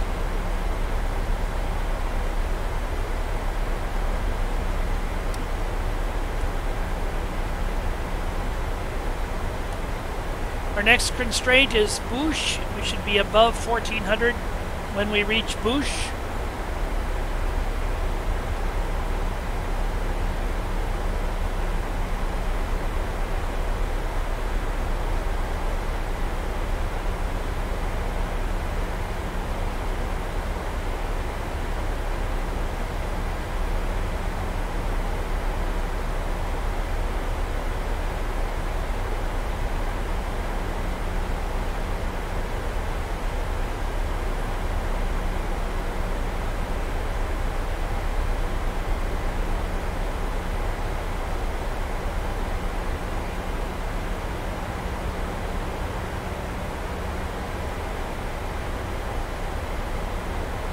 Above 14,000 at Bush, between 10 and 11,000 at Dina.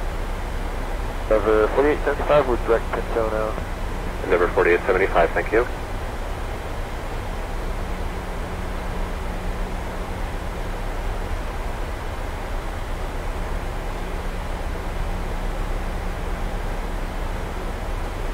Brakes are set to max.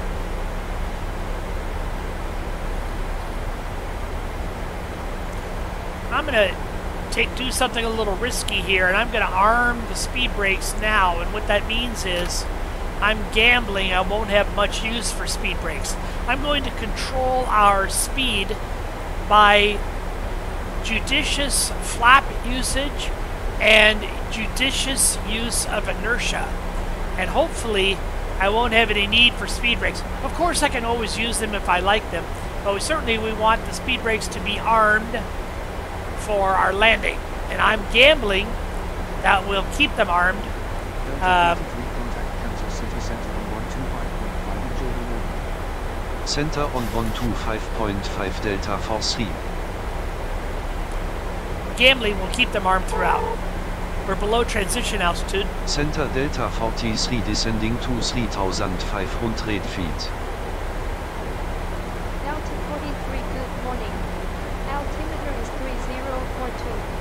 Altimeter is 3042 Delta 43.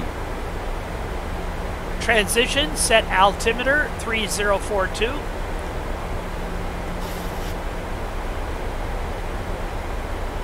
Two nine nine two set.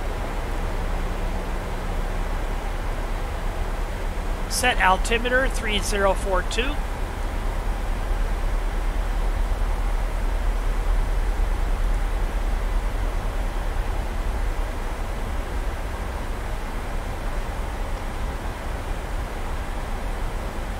Approach checklist. Jet speed 255, change Approaching to my frequency checklist. Altimeter.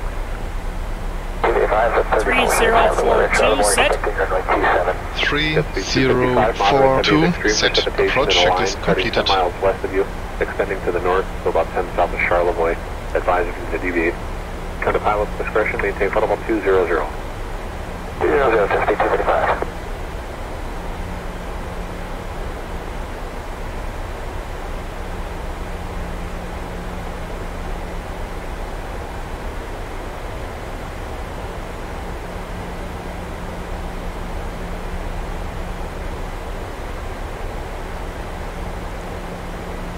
below 11,000 at Dana, and we are now at 13.5.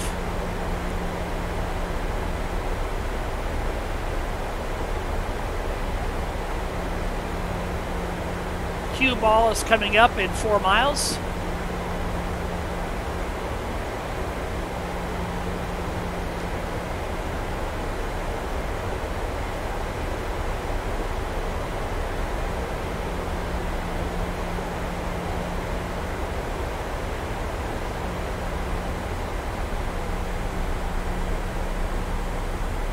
Intend to do is going to flat, once we reach 11,000 before Dana, I'm going to go to flaps 1, and we're going to drop our speed from 265 down to 250 when we reach 10,000 feet to keep in line with the speed restriction. So there's cue ball. We're at 11.9, three miles to Dana, so we'll obviously be below 11,000 before we get to Dana. Going through 11.6, 11.5 right now. Two miles to Dana.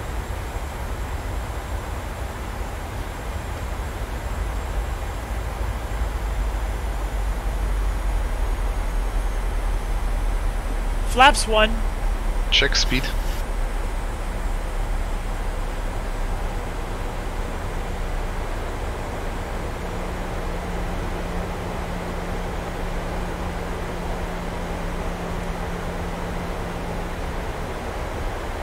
Cabin crew, prepare for landing.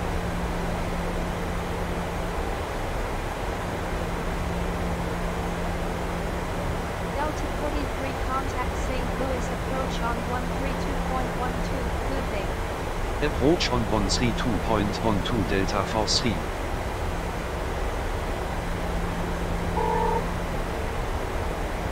Approach Delta 43 descending to 3500 feet.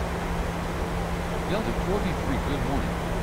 Continue descent via boost pre-arrival for the ILS approach to runway 30 left at St. Louis Land International.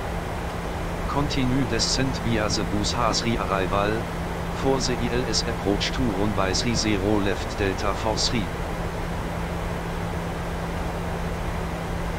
10,000.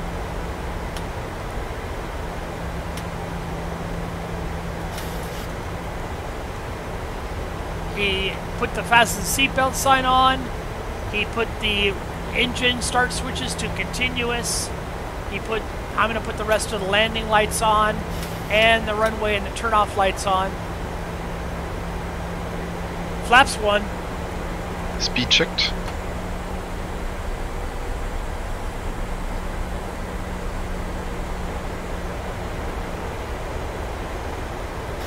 Flaps 1 set.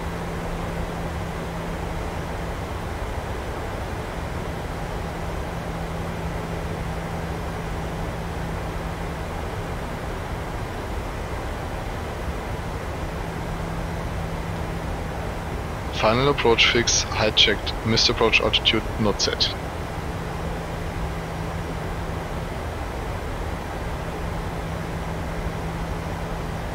Delta 43, you are 28 nautical miles southeast of St. Louis Lambert International Airport. Cleared for the ILS Ladies and gentlemen, as we start our runway descent, please make sure your St. seat backs and tray tables are in their upright position. Make sure your seatbelt is securely fastened, and all carry-on luggage is stowed underneath the seat in front of you or to over your 10.05. bin. Clear Force ELS approach to room by 30 left after table heading 350 to join the approach tower on 120.05 Delta 4C. E. Flaps 5. Speed checked. Tower Gear Delta down. 43 e in Gear down. for ELS approach room by 30 left. Delta 43 Flaps 5 set. continuous approach to run by 30 left will call when established on final delta for 3. Flaps 15. Speed checked. Speed brake up.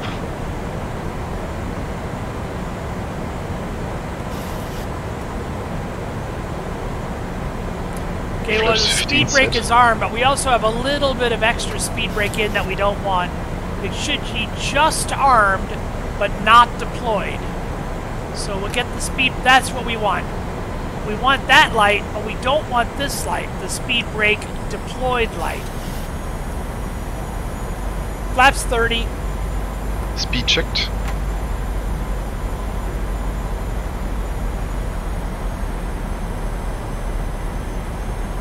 DOR lock on. Flaps 30 set. Turn right Gulf and taxi Park Approach Uh, on. UPS, follow right turn to Dual Gulf, maintain this for autopilot. Command A and Command B on.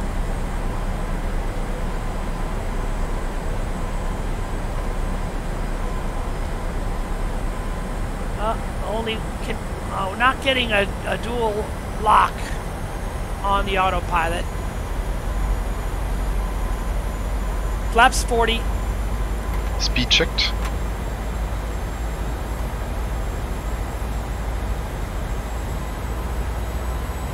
Flaps 40 set.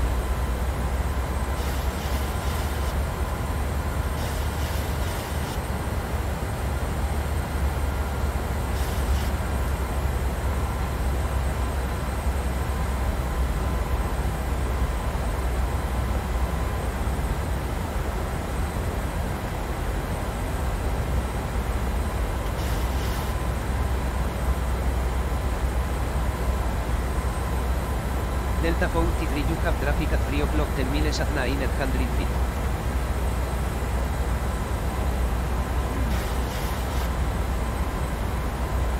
I wonder my why my uh, autopilot is not taking both A and B. Interesting.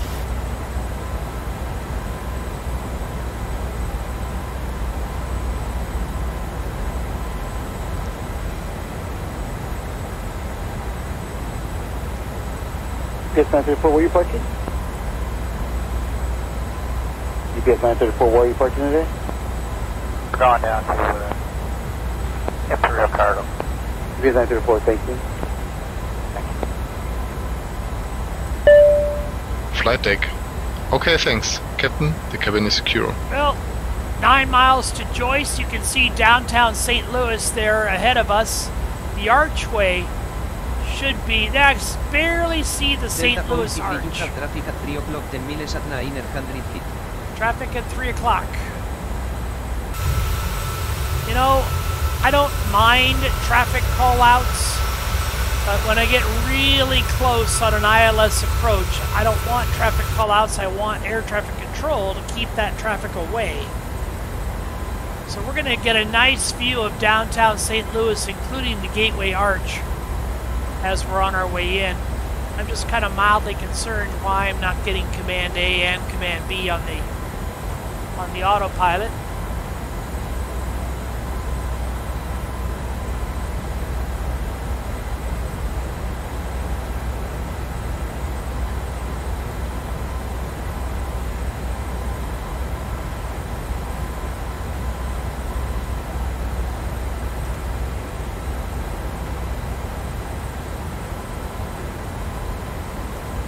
Delta 43 you have traffic at 3 o'clock 7 miles at 900 feet.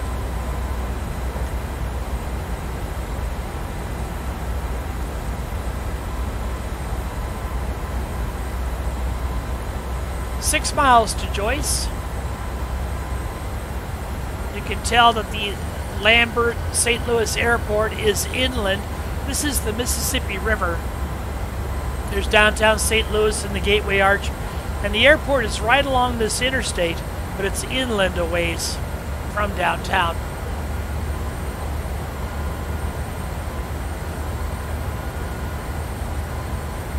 This community is West St. Louis, Illinois.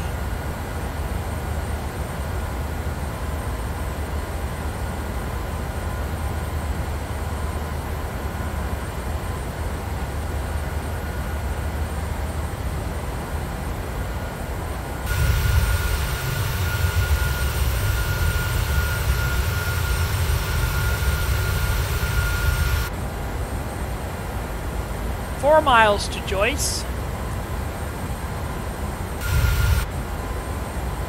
I still would love to get that Command B.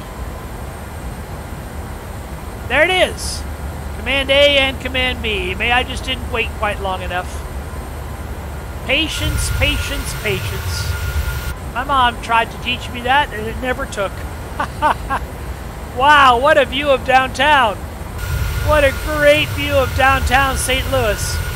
Oh, little police activity down there on the interstate. Of course, it's on. There's two police cars. All the bad things happen in East St. Louis. right there is the archway. Wow, what a view. That's why you get Microsoft Flight Simulator for views like that. Oh, there's some police activity on the St. Louis side. There's a television helicopter flying down to the police activity. Wow, there's quite a bit of police activity. Radio altimeter live. Cabin crew, take your seats. Delta 43 you have traffic at 11 o'clock 10 miles at 700 feet. Keep that traffic away from me, air traffic control.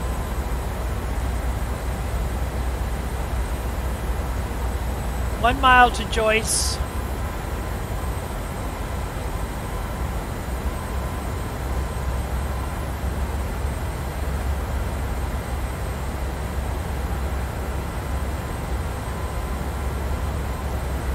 We've captured localizer.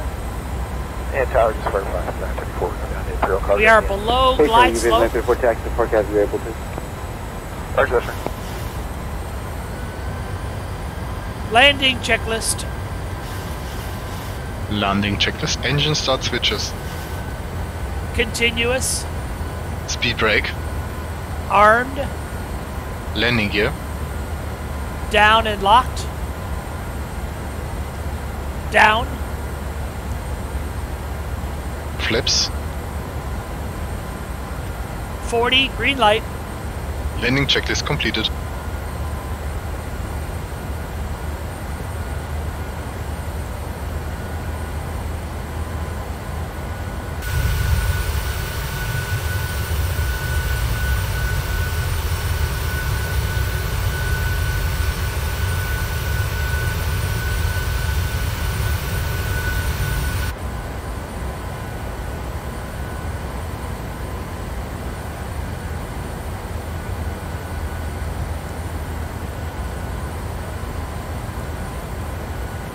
Terminals on the left.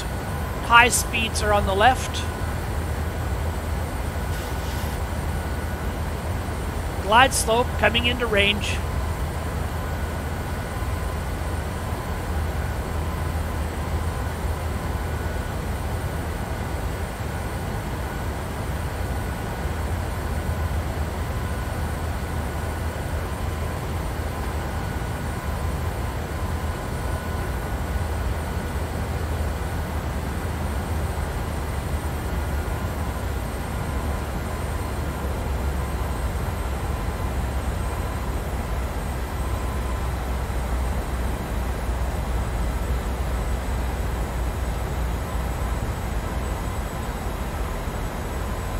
Glide slope captured.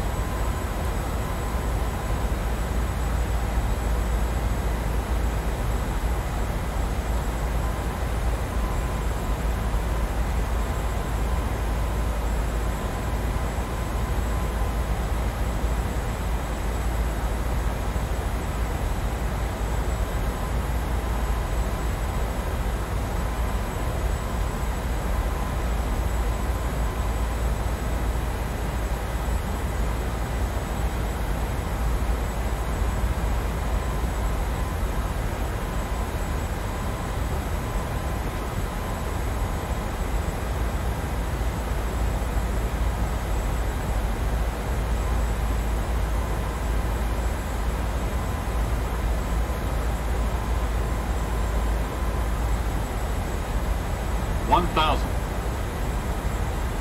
1000 set. Stable. Approaching.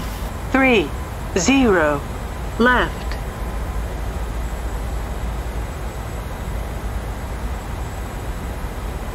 Land 3, auto land, rollout and flare are controlled by the aircraft. 69 heavy right turning Golf, taxi Alpha Park for frequency.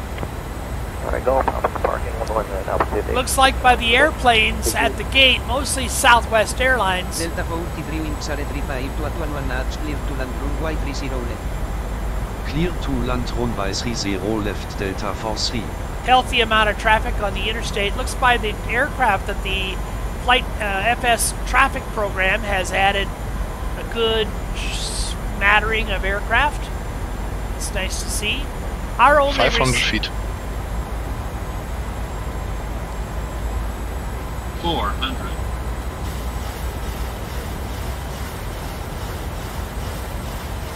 Three hundred.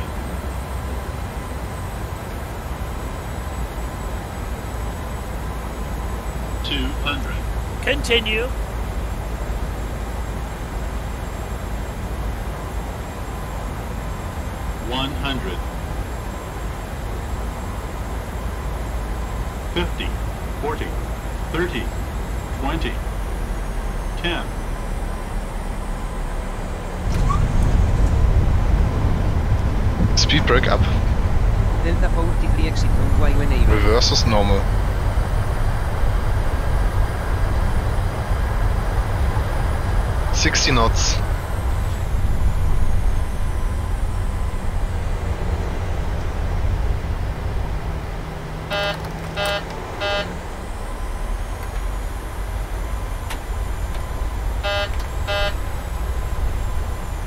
Okay to clean up. Roger.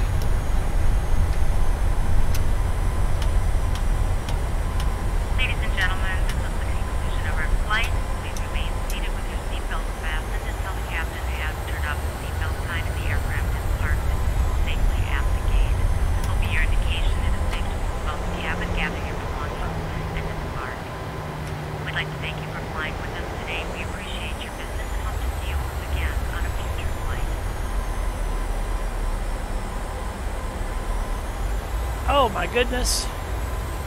Well, folks, I'm having some steering issues.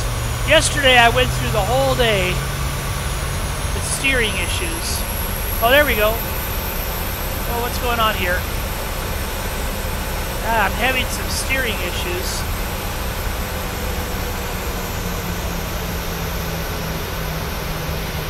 Oh, okay.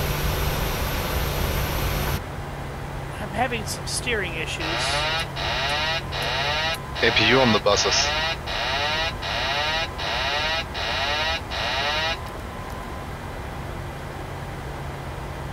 Okay.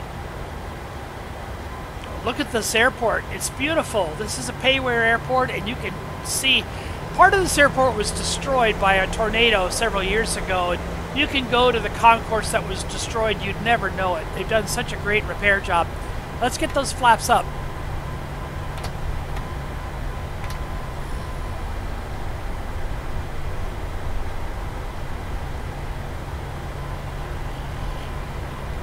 Tower Delta 4 tree clear be active.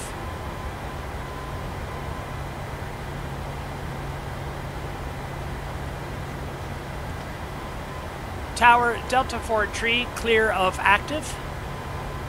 Delta 43 contact ground on 121.07, Indioidor moving. Ground on 121.07 Delta 43.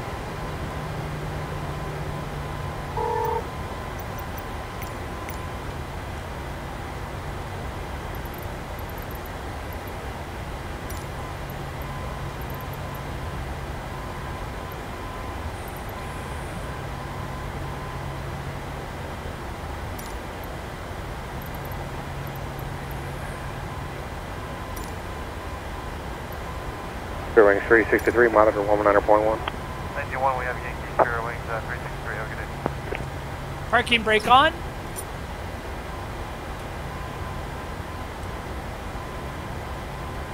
Fuel cutoff valves.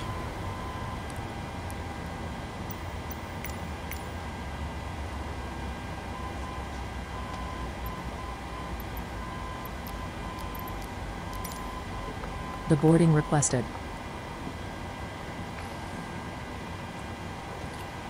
Seatbelt sign off. All these lights can come off. Position lights stay on.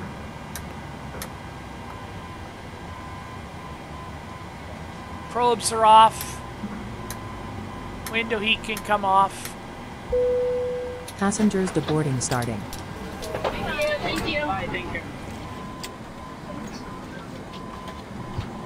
Here they come. Look at these smiling people. Oh my gosh, they are so happy to be in St. Louis. Yes, they are. Thank you, thank you. Bye, thank you.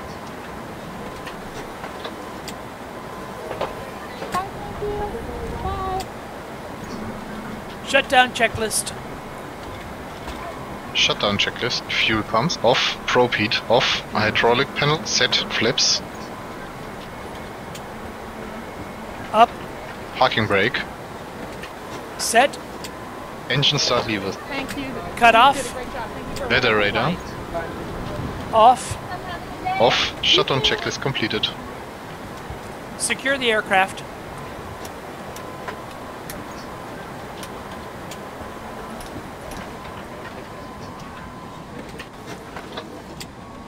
Thank you. You did a great job. Thank you for a wonderful flight. Secure checklist. Secure checklist. IR is off. Emergency exit lights off. Window heat off. Packs off. Secure checklist complete. Thank you. Thank you. Bye. Thank you. Have a good day. You too. Bye. Have a good one. Bye bye.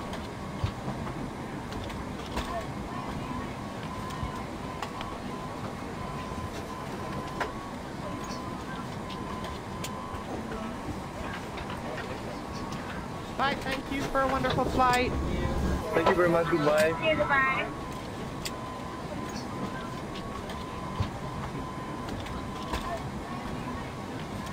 Bye. Thank you for a wonderful flight.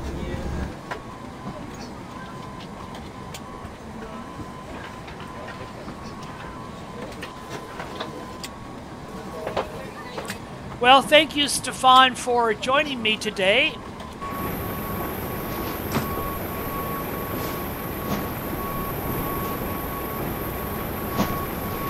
Go the bags. The people are off. The bags are fairly well, and you can see the people walking outside the jet bridge there. Uh, The people are off. The bags are on their way off. The airport is beautiful. I have a snowy day here.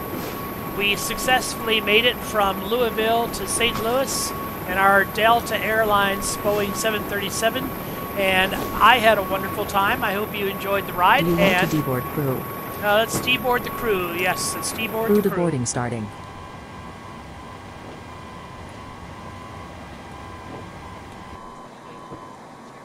There's the cabin crew.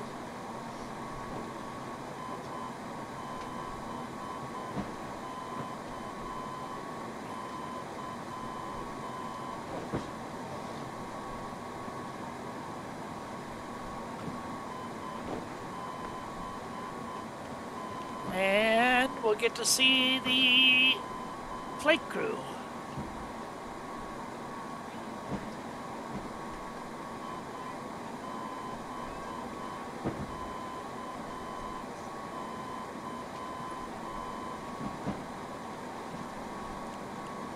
Come on, flight crew, I know where you live.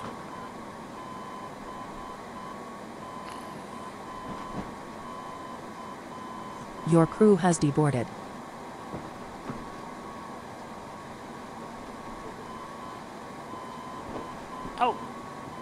Guess we're not going to see the pilots deboard, are we? I think the pilots may have gone out before the cabin crew, and we did catch it. Okay, well, folks, that is the conclusion of our flight today, and that is my first branded flight as Seattle Aviator. Hopefully, the first of many to come. And what you're going to find from me on my video is anybody can fly these uh, wonderful flights, but what I try to bring is a is an integrated experience. So when you take my flight, you're going to get all the third-party add-ons, the air traffic control, the ground handling, all the ambiance added together, and I hope that adds value to your flight simming experience. And I hope you are better for the journey. I know that I am, and I hope to see you again soon.